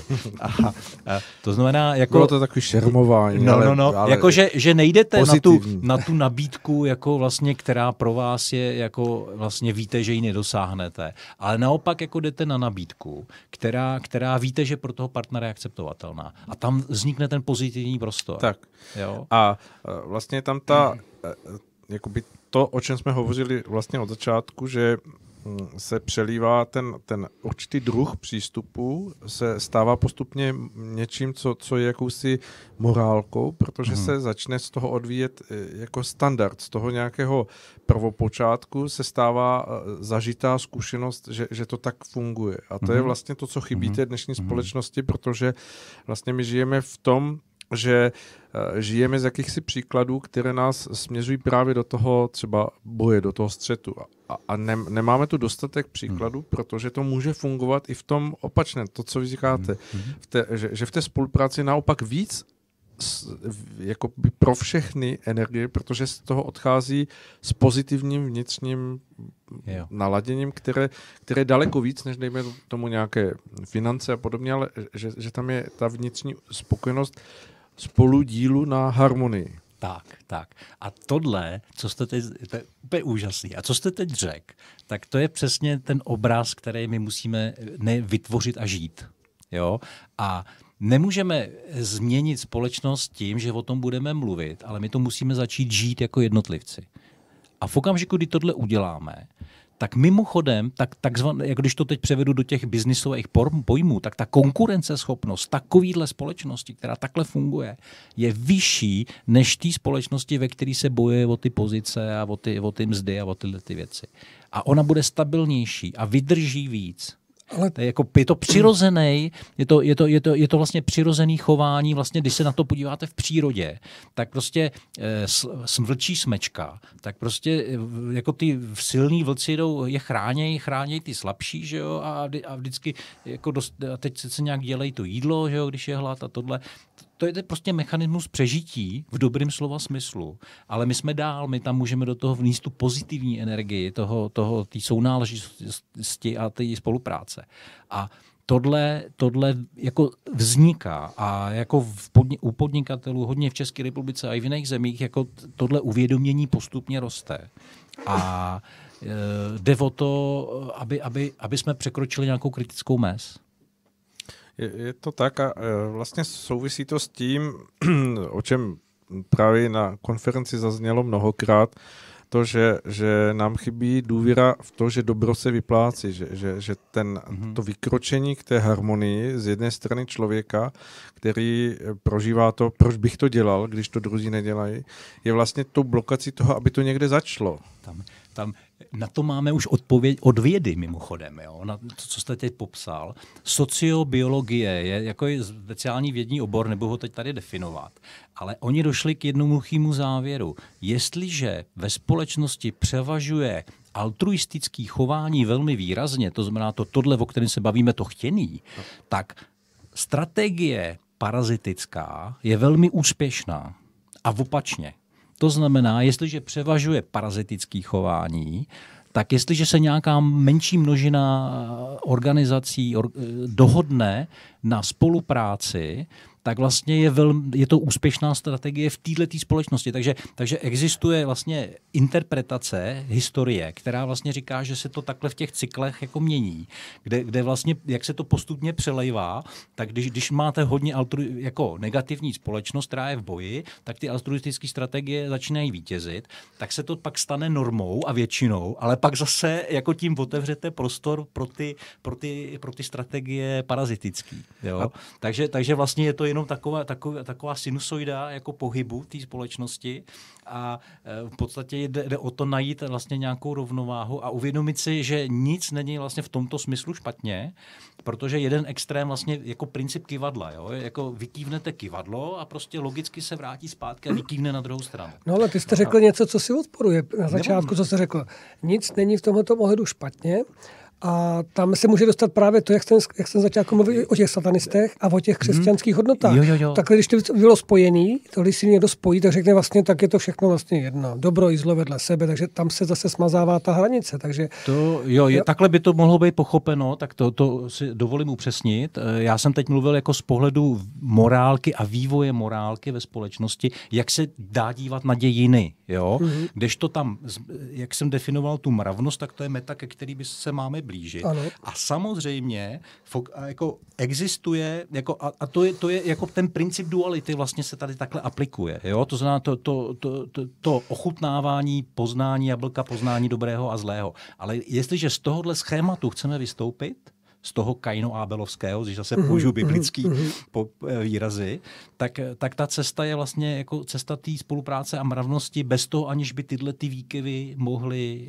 mohly musely být. Tak, jo? to jsem chtěl slyšet. Tak, protože tak, tam no, je právě no, ten výkyv, to jsme si na to lidi no, tak zvykli, že mm, lidi hned to bude, mm. že ty lidi si myslí, že to tak prostě má být. Jednou nahoře, jednou ano, dole, jednou ano, válka, ano, jednou dobře. Ano. A to je přece nesmysl, to je, co se neposouvá tak, společnost. A, to jenom opakují chyby. Moje, moje chápání současné doby je v tom, že teď poprvé v téhle době má lidstvo šanci jako z tohohle vystoupit. Mm-hmm. Pan Svoboda? Nevím, jestli celé, ale prostě minimálně Jste chtěl ještě něco dodat tomu? Ano, chtěl jsem říct, že samozřejmě eh, ono to vypadá fatalisticky a tak jako nezměnitelně, když bychom se dívali na tu linku, že to běží na rovné ose, ta sinusoida. Ano, ano. Ale uh, ten, ten vývoj společnosti, tak jako nás, jedinců, v těch prožíváních a zkušenostech by mělo jít po stoupající křivce. To znamená, mhm. že, že propad, který je ve společnosti na nějakém stupni tom, toho vývoje, eh, se na, nakonec ukazuje stále výš, než byl propad v tom, v tom nebo ta špička v toho předchozí, té předchozí sinusoidy. To znamená, Že to když se na to díváme, je to Jo. spirála. Tak. Tak. Ano, tak, tak. no, taky Takže jsem na je to to myslel. stoupání po Mm. spirále, která vlastně nemá v tom společenském důvod, aby, aby k tomu poučení se padalo zbytečně hluboko, protože to není Tak. potřeba. Protože to, co se stává tou morálkou, tak vlastně posouvá to společenské vědomí takovým způsobem, že, že už to není potřeba prožívat. A už není to, není nemůže to potřeba, být, Už to není potřeba opakovat v té, v té podobě, ve které to bylo Jo. třeba Přesně. jo, a nemůže to být taky, nemůže to být právě tím, že to lidé nevidí, protože se na to koukají jenom skrze ty, jenom skrze tu mravy a morálku, že tam chybí ten třetí rozměr a ten rozměr právě toho duchovního poznání. Kdy vlastně si právě uvědomíte, že to není takhle, ale že to právě ta spirála, která vlastně směřuje výš, má směřovat výš a výš a výš. Pokud se teda člověk rozhodne svobodnou svojí vůli, Ano, pokud se ano. rozhodne jít na druhou stranu. Mimochodem, vy jste teď vlastně citovali další z těch zákonů, Koukám na který ně. tam máme. Zákon, zákon Zlaté střední cesty se jmenuje, no. jestli se nepletu. A to je právě o téhle sinusoidě, že když, když víte o tom kivadlu, tak vlastně kdy je potřeba fyzikálně brzdit kivadlo, aby, aby ten výkyv, aby, to, aby ten útlum toho kivadla takzvaný, to znamená, aby se brzo dostal do rovnováhy, byl co největší, byl co nejrychlejší. Aby těch kmitů bylo co nejmíň a ty amplitudy byly co nejnižší v, brzy, v brzkém čase. Musíte brzdit v polovině toho, když to kivadlo začne padat, že jo? jo začít. Takže, takže to, je, to je vlastně to, tahle znalost nám umožňuje vlastně se dívat na ty věci tak, že, že chá, jako řeknu příklad, jestliže v 90. letech byli homosexuálové jako, eh, eh, jako společností velmi dobře přijati, předtím byl určitý takový jako, že, že ta, ta, ta, ta socialistická společnost nebo prostě ty pohlaváři to nějak jako akceptovali, tolerovali, ale ne, nebyl, nebyl tam ten. Tak v 90. sp- 90. letech jako došlo jako k velmi výraznému posunu. Jo? A stalo se, a, a, a vlastně nikdo, jako až na výjimky samozřejmě se, se na ně nedíval skrze prsty a stali se jako normální, normální součástí společnosti. Oni byli i předtím, ale, ale prostě ten, ta společenská, jako to vnímání se výrazně posunulo k lepšímu. Já bych řekl do normy.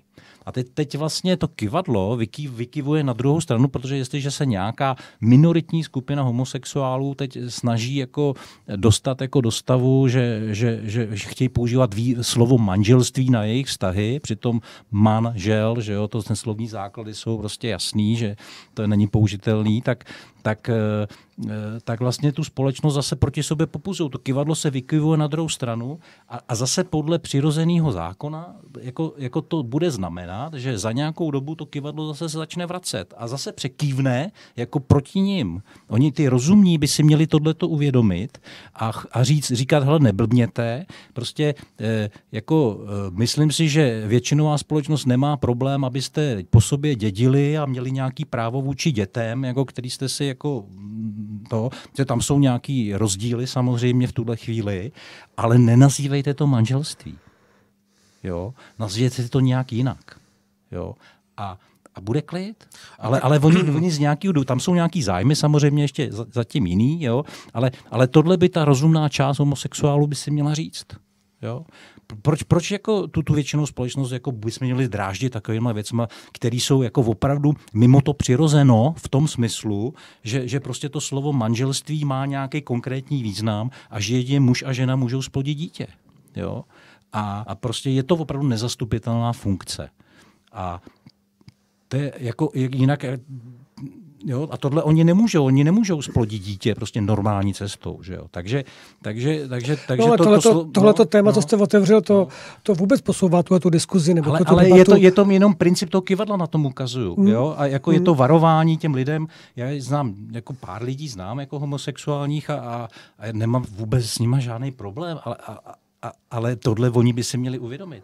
No já jsem chtěl, chtěl spíš poukázat, že vlastně to potom zase na pohled mravy a morálka je trošku, Hmm. zase jsme na jiný, jo, tam je tam ve společnosti daleko víc ještě problémů. Jasně. A když potom bychom se na to měli koukat ty mravy a morálky, tak bychom se možná divili, kam až by se to muselo posouvat, jako všechno, abyste vyšel každému vstříc, aby se, já nevím, teď v tu chvíli jenom tak si tak jenom polemizuju pro sebe, že asi bych kladl na tu, na tu probuzenou schopnost citu.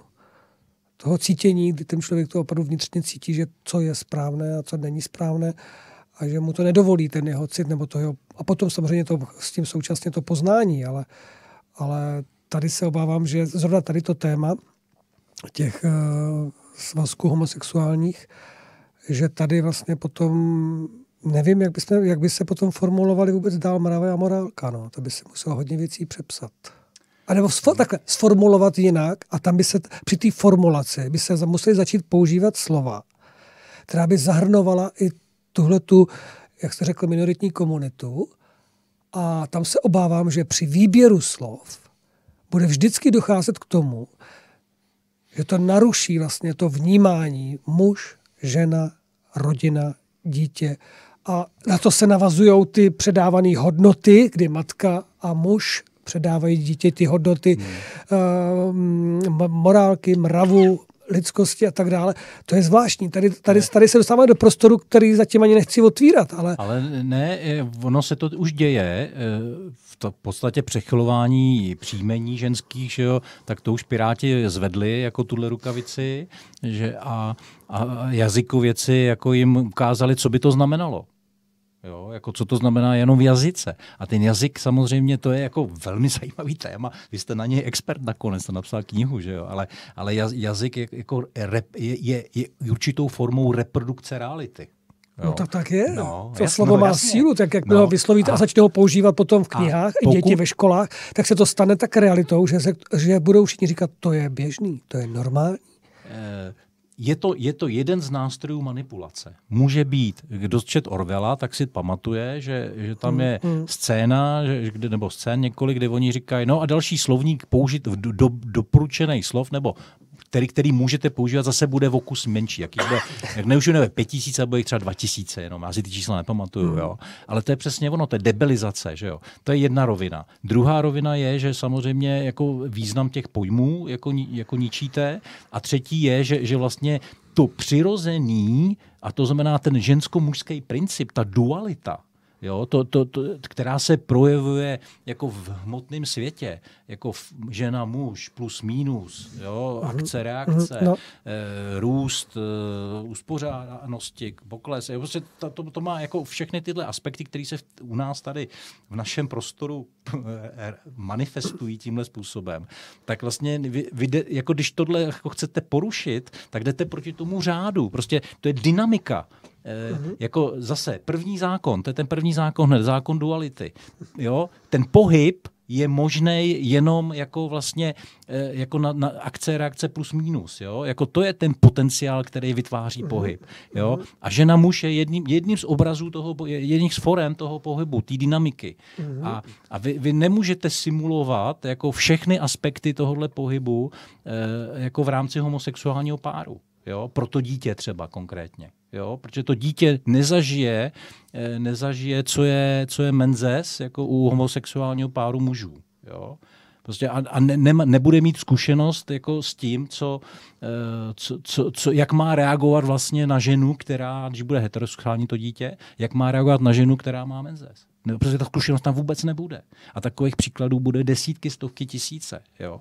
Takže, takže to pak není je, to je, to je imitace, mm-hmm. jako, jako, jako imitace té polarity.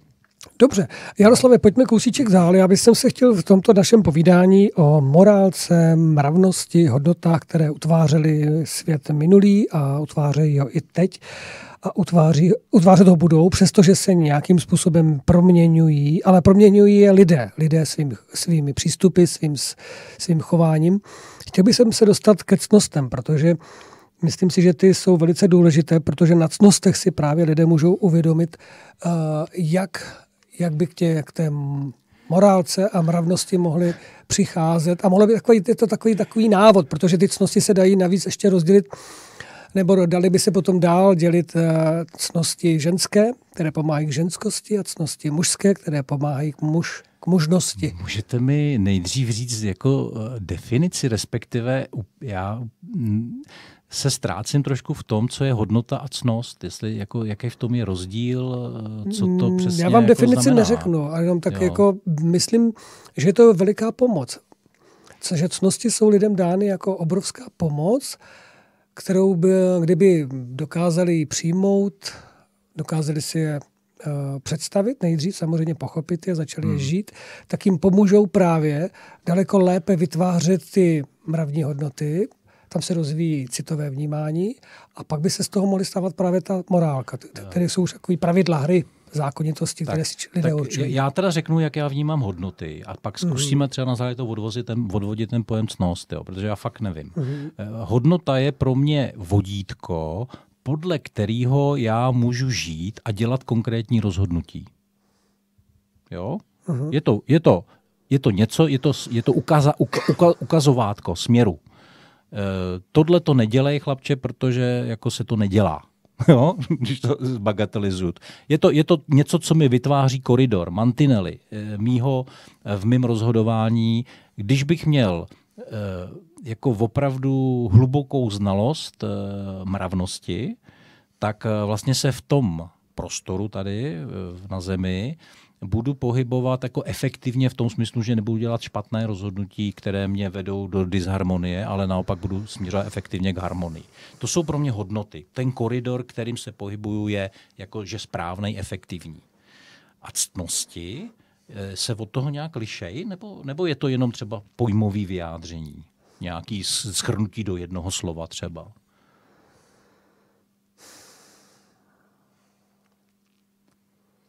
Já bych řekl, že to je to tež.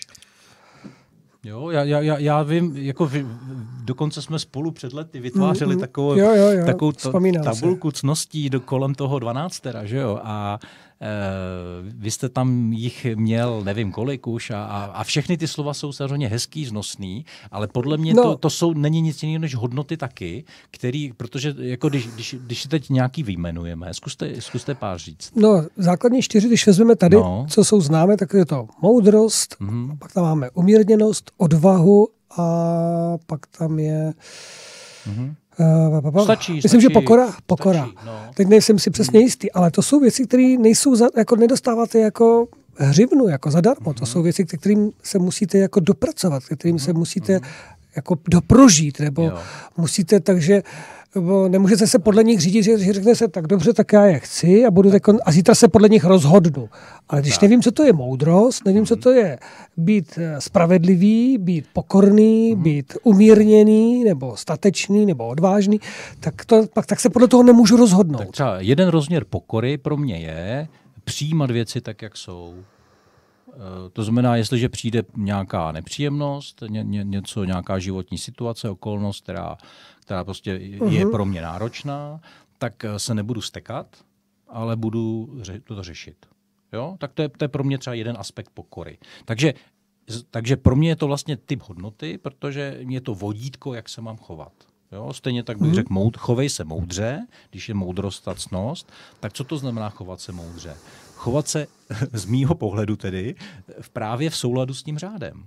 Jo? No, ona, ona no. totiž, ano, souhlasím, ale ona ta moudrost je vlastně perlou tou nejvyšší a k ní se to je takový vrchol těch cností. No. Ale tam se člověk dopracuje, takže se, to se dopracováte přes všechny ty další. Ja. A navíc, navíc, co se řekl o té pokoře, tam je to taky velice, velice mm, jak by to řekl, lidé zaměňují pokoru hmm. s lhostejností, hmm. anebo, nebo strpělivostí že to jo, vydrží. Jo. Jako jo. Tam je to taky takový velice zvláštní moment, kdy ta pokora uh, vůči, já předpokládám, že tady se spolu, nebo že to vy vnímáte právě pokora vůči těm vyšším zákonitostem, vůči uh-huh. tomu mhm. vyššímu dění, které uh-huh. se mhm. děje, protože máte to vědění a, uh-huh. a, poznání, a, a poznání, poznání a jdete za ním. A jdete za ním a pořád čerpáte. Uh-huh. Ale lidé, kteří ho nemají, tak tu pokoru uh, mají dost často zkresleně jako vytvořenou.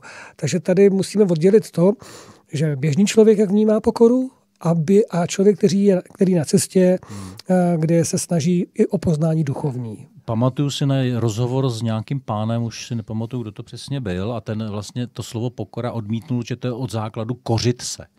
A myslím, že to je samozřejmě nepochopení, ale, mm, ale to, já jsem mm, to nevymlouval.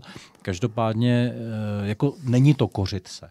Je to, je to respekt vlastně k tomu řádu pro mě je to jako respektování. Ono to nemůže řádu. být, ono to, no. ono to vychází z božských cností, když to řeknu takhle, hmm. ale tam je ta pokora, to totiž není, už, protože to by vylučovalo, to by hmm. popíralo větu, pod, před nikým se neponižuj, hmm. před nikým se nepovyšuj. Tak.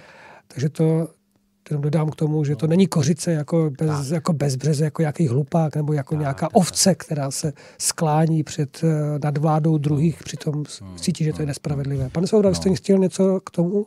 Já jsem chtěl, ale pak jsem viděl, že to bylo zajímavé, ta debata, co se tady odvá, odvíjí mezi vámi, tak uh, s pokorou sobě vlastně jsem počkal. uh, to si samozřejmě dělám legraci. Uh, Neděláte.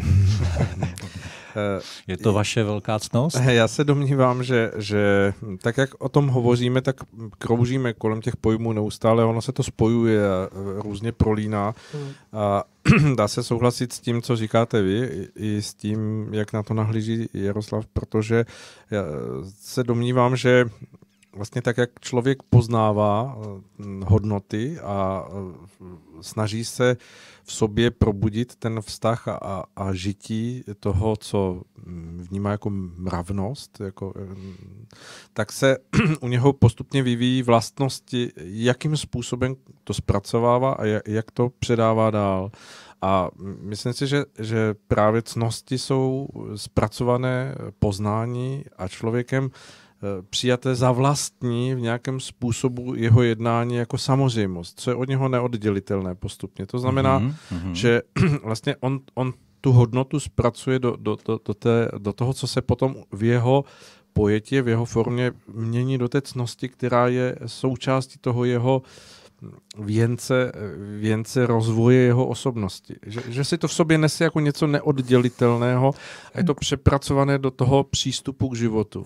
Dalo by se říct, nebo myslíte tím, že, definice. že, se, že se tím ty cnosti dá, stávají tou jeho mravností a potažmo potom morálkou? Ano, jako to jsou projevy té mravnosti. Aplikace- No, aplikace tak, nebo, to jsem nebo chtěl dá se říct jako, jako ty výstupy dochování. toho jeho Mhm. způsobu přístupu Jo. k věcem, k druhým lidem. Takže kdybych, když bych si troufl takovou velice možná zvláštní definici, že hodnoty, hodnoty lidství, hodnoty člověka nebo lidskosti eh, by měly vycházet ze cností, které pomáhají k mravnosti a navazuje na to. A, Spíš a, Tak to jsme měli- se ztratili Spíš teda. by měly ty hodnoty ústit do těch žitých vlastností lidí, které jsou, které je možné považovat za cnosti.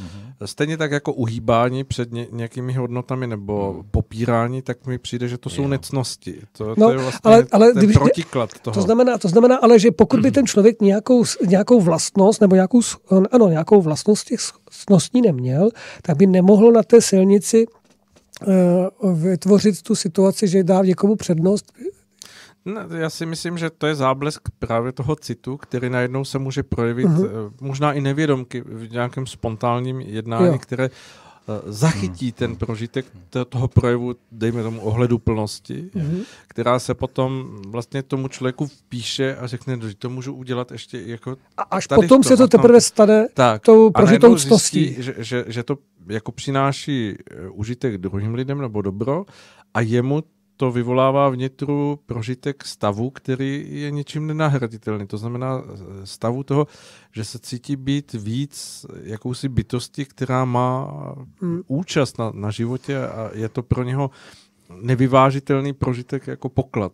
Wow. Já se, já se chci dostat k tomu, eh, že když se mluví o hodnotách, tak lidi mluv, eh, se mluví tak vždycky tak zvláštně okolo a málo kdy se to řekne jasně. Přitom eh, pokud lidé tou cestou duchovní a hledají, eh, tak najdou, že ve stvoření existují čtyři předobrazy cností nebo čtyři bytosti, eh, čtyři, čtyř základních cností a pak se to vlastně jde dál. To znamená, že, že, že ty hodnoty lidství by měly vycházet až po dlouhé řadě někde na konci toho celého toho vědění, toho poznání, právě v těch cnostech, které byly, o které se vlastně tolik filozofů a spisovatelů, básníků a lidí snažilo je jako přiblížit, vysvětlit, um, popsat, dokonce rozšířit, protože uh, z těch čtyřech potom navazovali další a další. Takže by to, jestli bychom se tady dokázali v závěru toho našeho dnešního povídání shodnout na tom, že mm, cnosti by měly být základem pro hodnoty člověka na zemi. Žití, žití. Ne, je, pan Sobra to řekl naprosto přesně, jo? Já, bych to, já bych od toho neustupoval. Eh, ctnost je, je žitá hodnota. Jo? No, ale, to, ale... Je, to je pro mě jako krásný vyjádření. Ale... Já, můžu, já můžu mluvit o hodnotách a můžu být pěkný hajzlík. No, ano. Jo? Ale oni nemě, oni, když oni, o mě někdo řekne, že dodržuju hodnoty nějaký svoje, mm-hmm. tak řekne, že jsem ctnostný, mm-hmm. jo? ne hodnotný. Ano, ano. Jo? A to je v tom jazyce, ano, ano. je to vlastně tak, takhle ano, hezky jo, jo, zakódovaný. jo, Jo? ano. Takže... dává ten rozměr lidskosti no, no, člověka. No, no, no. no a také se to neříká, všimněte ne, si to. No, jako jasně. Pro lidi je snaží říct hodnoty, no. ale než ctnostný. No, protože no. ctností se bojí zase, protože tam ty, Hodnota ty je abstrakce, kdežto ctnost je vlastně už vyjádřená v tom životě. Ano. No, tak to, to, to děkuji Ale za málo se- definici, to jsem jako Vlastně nechápal. ta, ta, ta, to poznání cností hmm. přišlo vlastně z těch starověkých, ať už Řecka, tady těch národů, které se zabývaly samozřejmě filozofií a, a nacházeli oporu té konkrétnosti toho, té hodnoty vždy v nějakém panteonu toho, toho, toho vlastně Mhm. To, toho, k čemu zhlíželi a nazývali to božstvem, že to byly vlastně bytosti nebo postavy, které nesly zvýšenou formu, já nevím, dejme tomu hrdinství, odvahy nebo uh, obětavosti nebo ně, něčeho, co, co, co vlastně ti lidé vnímali, že, že je posouvá, když si to osvojí a st- stane se to součástí i v tom jejich malém rozměru bytí, uh, která jako součástí, která se stane jejich vlastností, že, že to vnímali jako posun a, a prožívali to zpětně, tak, a to se mi líbí, že to Jaroslav říkal, vlastně to je, to je, to je převedení do, do, do každodennosti, do praxe t- těch hodnot, protože No. no. oni se najednou stávají hmatatelné u toho člověka. A čitelné. Přesně tak. Já jsem chtěl tohleto od vás slyšet z jednoho prostého důvodu, protože když jsme se bavili na začátku o mravu, o morálce, tak nebylo nic řečeno konkrétního. Bylo tady pár příkladů, ať už té silnice a takhle a tak dál. Ale tady máme vyloženě jasně daný, že pojmy jako je moudrost, statečnost, umírněnost, pokora, a mohli bychom jít dál a, a dál, protože těch ctností potom bylo sedm, se to rozšířilo, pak se rozdělilo na devět, pak na dvanáct, pak jsou rytířské, pak jsou mužské, ženské, hmm. ale tohle to jsou už pojmy, pozor, na které, o kterých, které jsou jako skutečné ve společnosti, dá se o nich hovořit. Ale jak řeknete morálka, mravnost, tak je to takové pro mnoho jako no, něco, že bych měl nějak se chovat, něco, něco dělat. Ale když někomu potom jasně při těch eh, proměnách světa, nebo až bude třeba hnutí cesta vládnout, tak samozřejmě můžete mluvit o dualitě, můžete mluvit o zákonu, o zákonu mm, rovnová, rovnováhy, nebo ne, co to tam bylo, Eh, ten střední cesty. Ale myslím si, že pro budoucí časy bude velice důležité, aby se tyto pojmy znovu oživily a začaly se používat. To je samozřejmý. To... A byly, byly vyjádřeny tak a ne, ne a hlavně těmi správnými slovy a definicemi, i když definice zní taky velice nepříjemně, to je jak nějaká vědecká poučka, ale prostě byly velice citlivě vyjádřeny pro společnost, aby nebyly vnímány jako archaismus při čtení řecko, řeckých bájí a pověstí. Tak to byli filozofové, kteří, troufám si říct, mají přesah mnohonásobně vyšší než všechny dnešní nějaké mm, nálezky Mm, filozofických mm, mm. úvah. Když bychom si vzali Mm. dnešní filozofie, srovnali Sokrata, ty, Mm. kteří vlastně vstáli na počátku Mm, těchto mm, mm, myšlenek a pro, prožívání, předávali to Ano, ano. dál žákům. Konec konců Emil Pálež o tom hovoří nesmírně Těšíme se na a v něj. souvislostech. Těšíme takže- se na ně. Eh, dá se o tom hovořit, že, že, že skutečně to jsou skonkretizované hodnoty, které přináší potom prospěch té společnosti prostřednictvím toho, že, že člověk si je nese jako vlastnosti a můžou se o ně u něho ty druzí o to opřít. Tak, to jsem přesně chtěl slyšet, tak tomu jsem se chtěl dopracovat. Mm-hmm. To se mi povedlo. Takže, pánové, máme tady poslední 10 minut a chtěl bych se dotknout konference. Jelikož máme před sebou poslední eh, ročník České konference, uzavřeme dekádu. Petr Hradil mi při dnešním, nebo včera, počkejte, dnes, dneska mi to volal, když mi volal tu zprávu, že teda bude moc být zúčasten, že se, že se cesty otevřely, tak já tak tam prohodil velice zvláštní větu, takovou hezkou.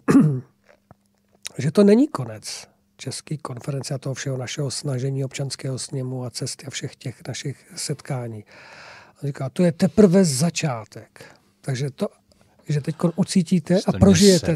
myšlenku. Že to, že to chcete, že, no Petr to dneska, já říkám Petře, tak tohle to bude citace, kterou budu citovat s vaším jménem, tak jako pan Máler řekl o těch rytířích naděje a opravdových občanech, tak se mi to dneska líbilo, že Petr řekl, že s tou poslední konferencí uh, on za sebe teda vnímá, že teď to teprve začíná.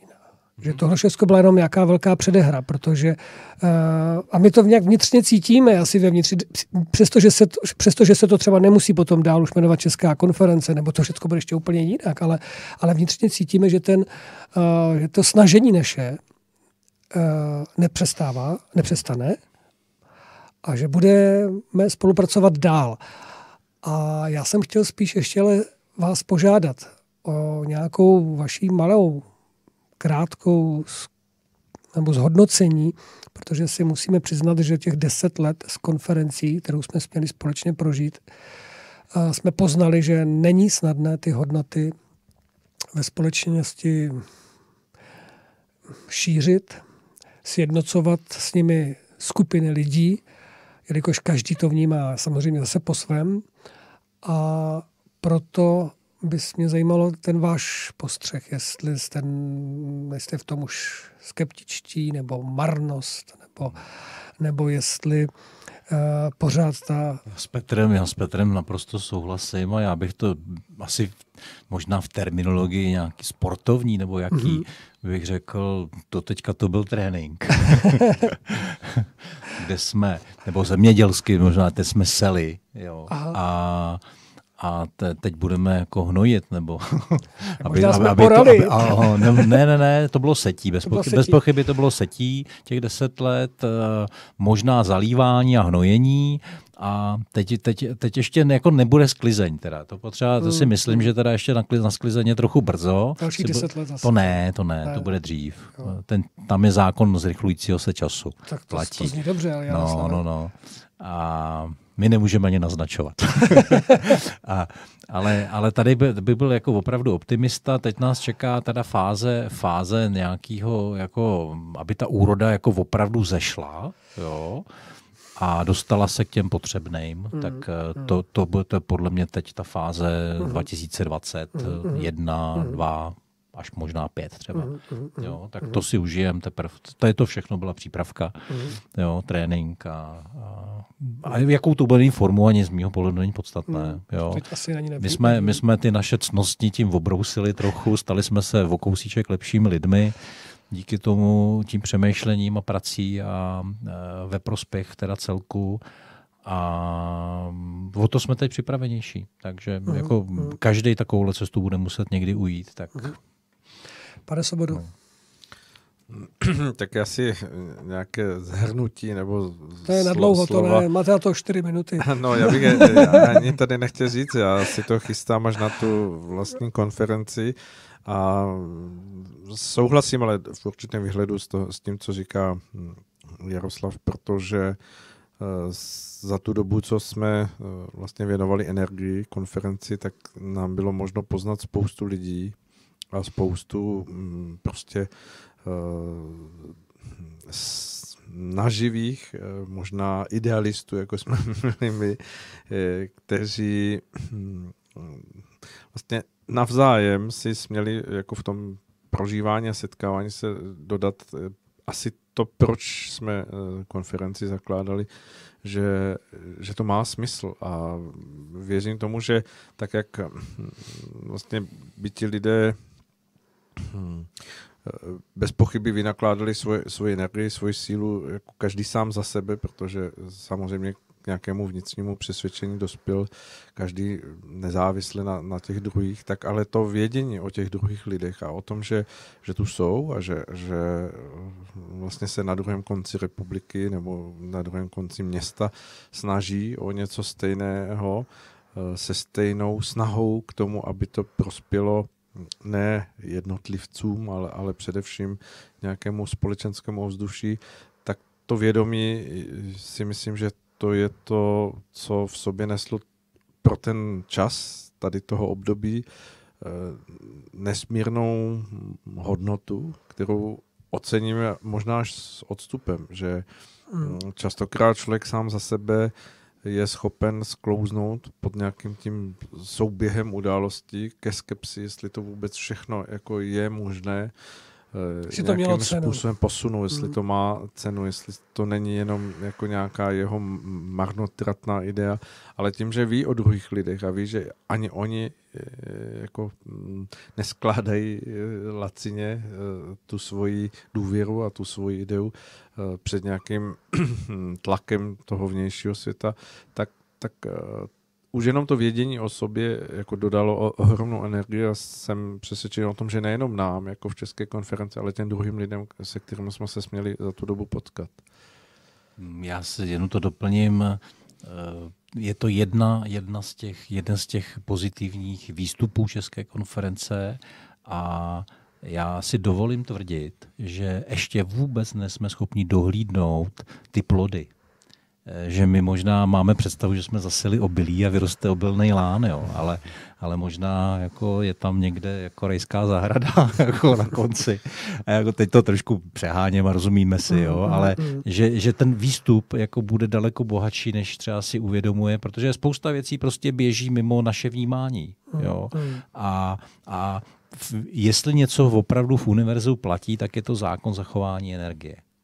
A, mm. a to, ta energie vložená do toho prostě někde vystoupí. To se přece a, no, nemohlo nikam no, no, taky se nestrácí. Jo? A jak samozřejmě teď jako uh, takový ty hnidopiši budou mluvit o entropii a tak, jo? Ale, ale dobře.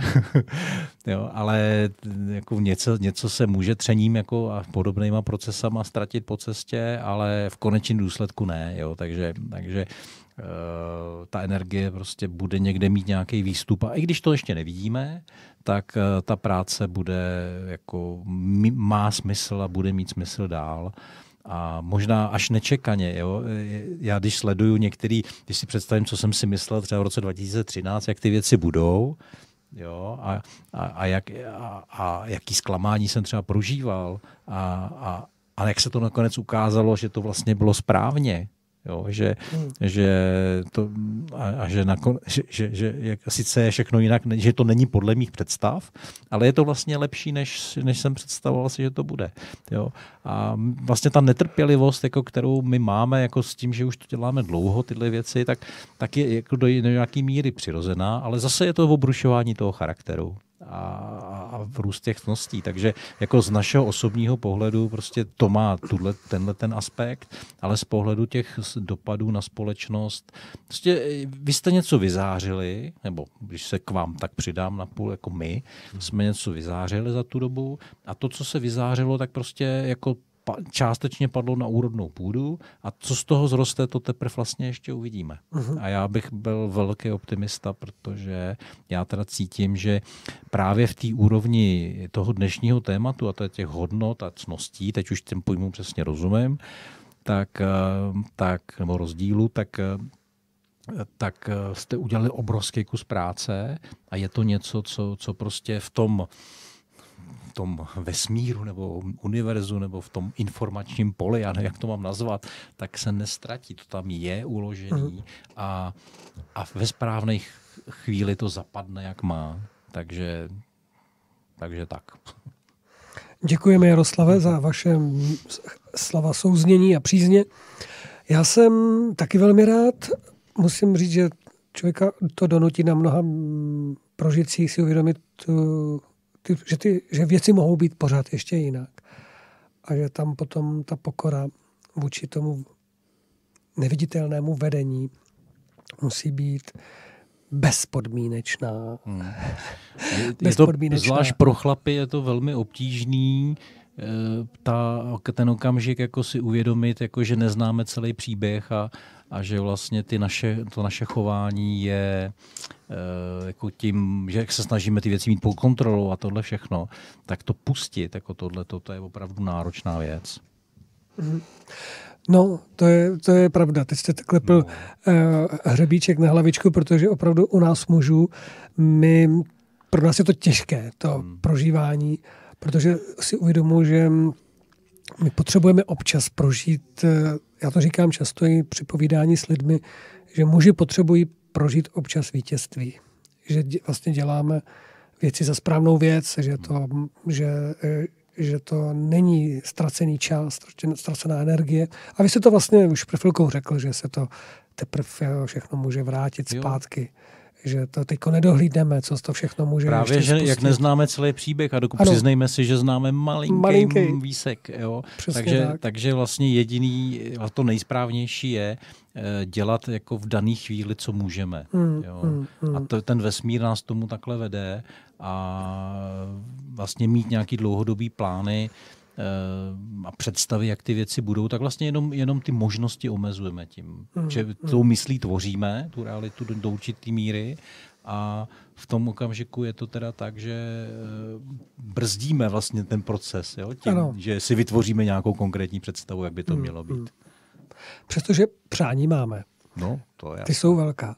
Já věřím, že přijdou, přijdou s posledním, s posledním ročníkem České konference přijdou na pořadu dne, ať už to bude ještě letos nebo příští rok, nové vize, nové možnosti spolupráce a tam potom bude velký prostor pro, pro zužitkování těch našich, teď nech, nevím, jak bych to řekl, ne vydobitých, ale dobitých, ale možná uvědomělých a prožitých nebo prožívaných cností, které se pro nás stávají hodnotami životními, v mravnosti, v morálce a ve snažení udělat tuto zemi nebo pomoci této zemi, aby v ní bylo lépe. Tak jako je to v heslu Rádia Bohemia. Pane Soboda, pomozte mi.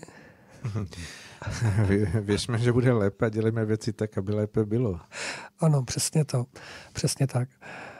Vážení uh, hosté, Jaroslavé, pane Sobodo, těším se na vás na České konferenci. Myslím, že vy, posluchači, kteří nás teď posloucháte, se máte na co těšit, přestože tam není ten obrovský seznam těch přednášejících, ale o to víc věřte, že budete milé překvapeni. A budeme velmi rádi, když si uděláte čas, přijedete 2. listopadu do Kutné hory a celá akce je jednodenní a vstupné je dobrovolné, což je velký vstřícný krok z naší strany vůči vám, aby se České konference mohl zúčastnit opravdu každý, kdo má zájem a komu není lhostejné budoucnost naší země. A dozvíte se mnoho zajímavého a bude o vás i dobře postaráno. Um, nevím, co bych dál dodal, sledujte web České konference. Pokud byste měli zájem o vstupenku, zamluvit se nebo nějaké další informace, můžete se obrátit na celý tým, který najdete v kontaktech, tak si můžete někoho z nás vybrat, zavolejte a budeme vám se snažit odpovědět nebo poradit. V tuto chvíli, milí posluchači, se s váma loučíme. Já vám děkuji za vaši pozornost, těším se, že se opět uslyšíme příště a no, na konferenci za týden na viděnou i nashledanou. Pěkný večer, nasledanou. Dobrou noc.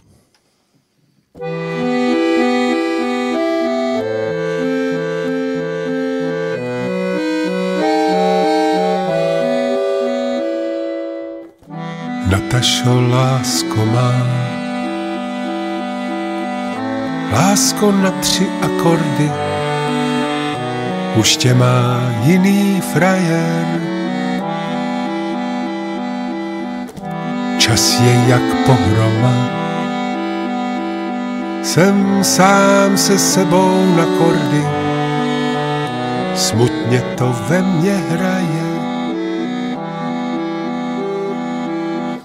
Záda od omítky, líbání ve stoje, něžné průpovídky, otázky, co to je, ústa nepřejícná, ústa lakomá, Natašu lásku má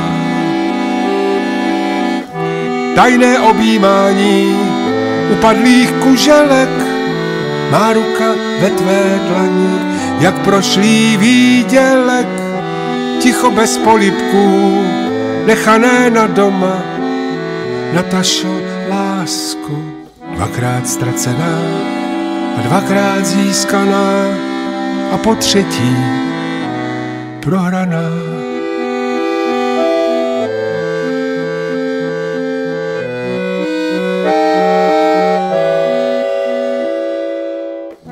Natašo, lásko má, lásko na tři akordy, proč si mi dala košem? Čas je jak pohroma, jsem sám se sebou na kordy, nechceš mě za kámoše.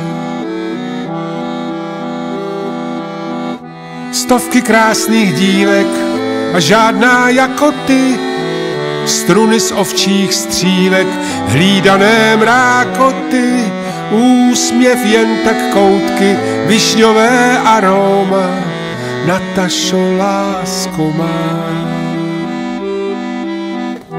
Dvě, tři krásné chvíle, milion špatných chvil a jeden dlouhý výlet tam, kde jsem kdysi žil, kde také ty si žila.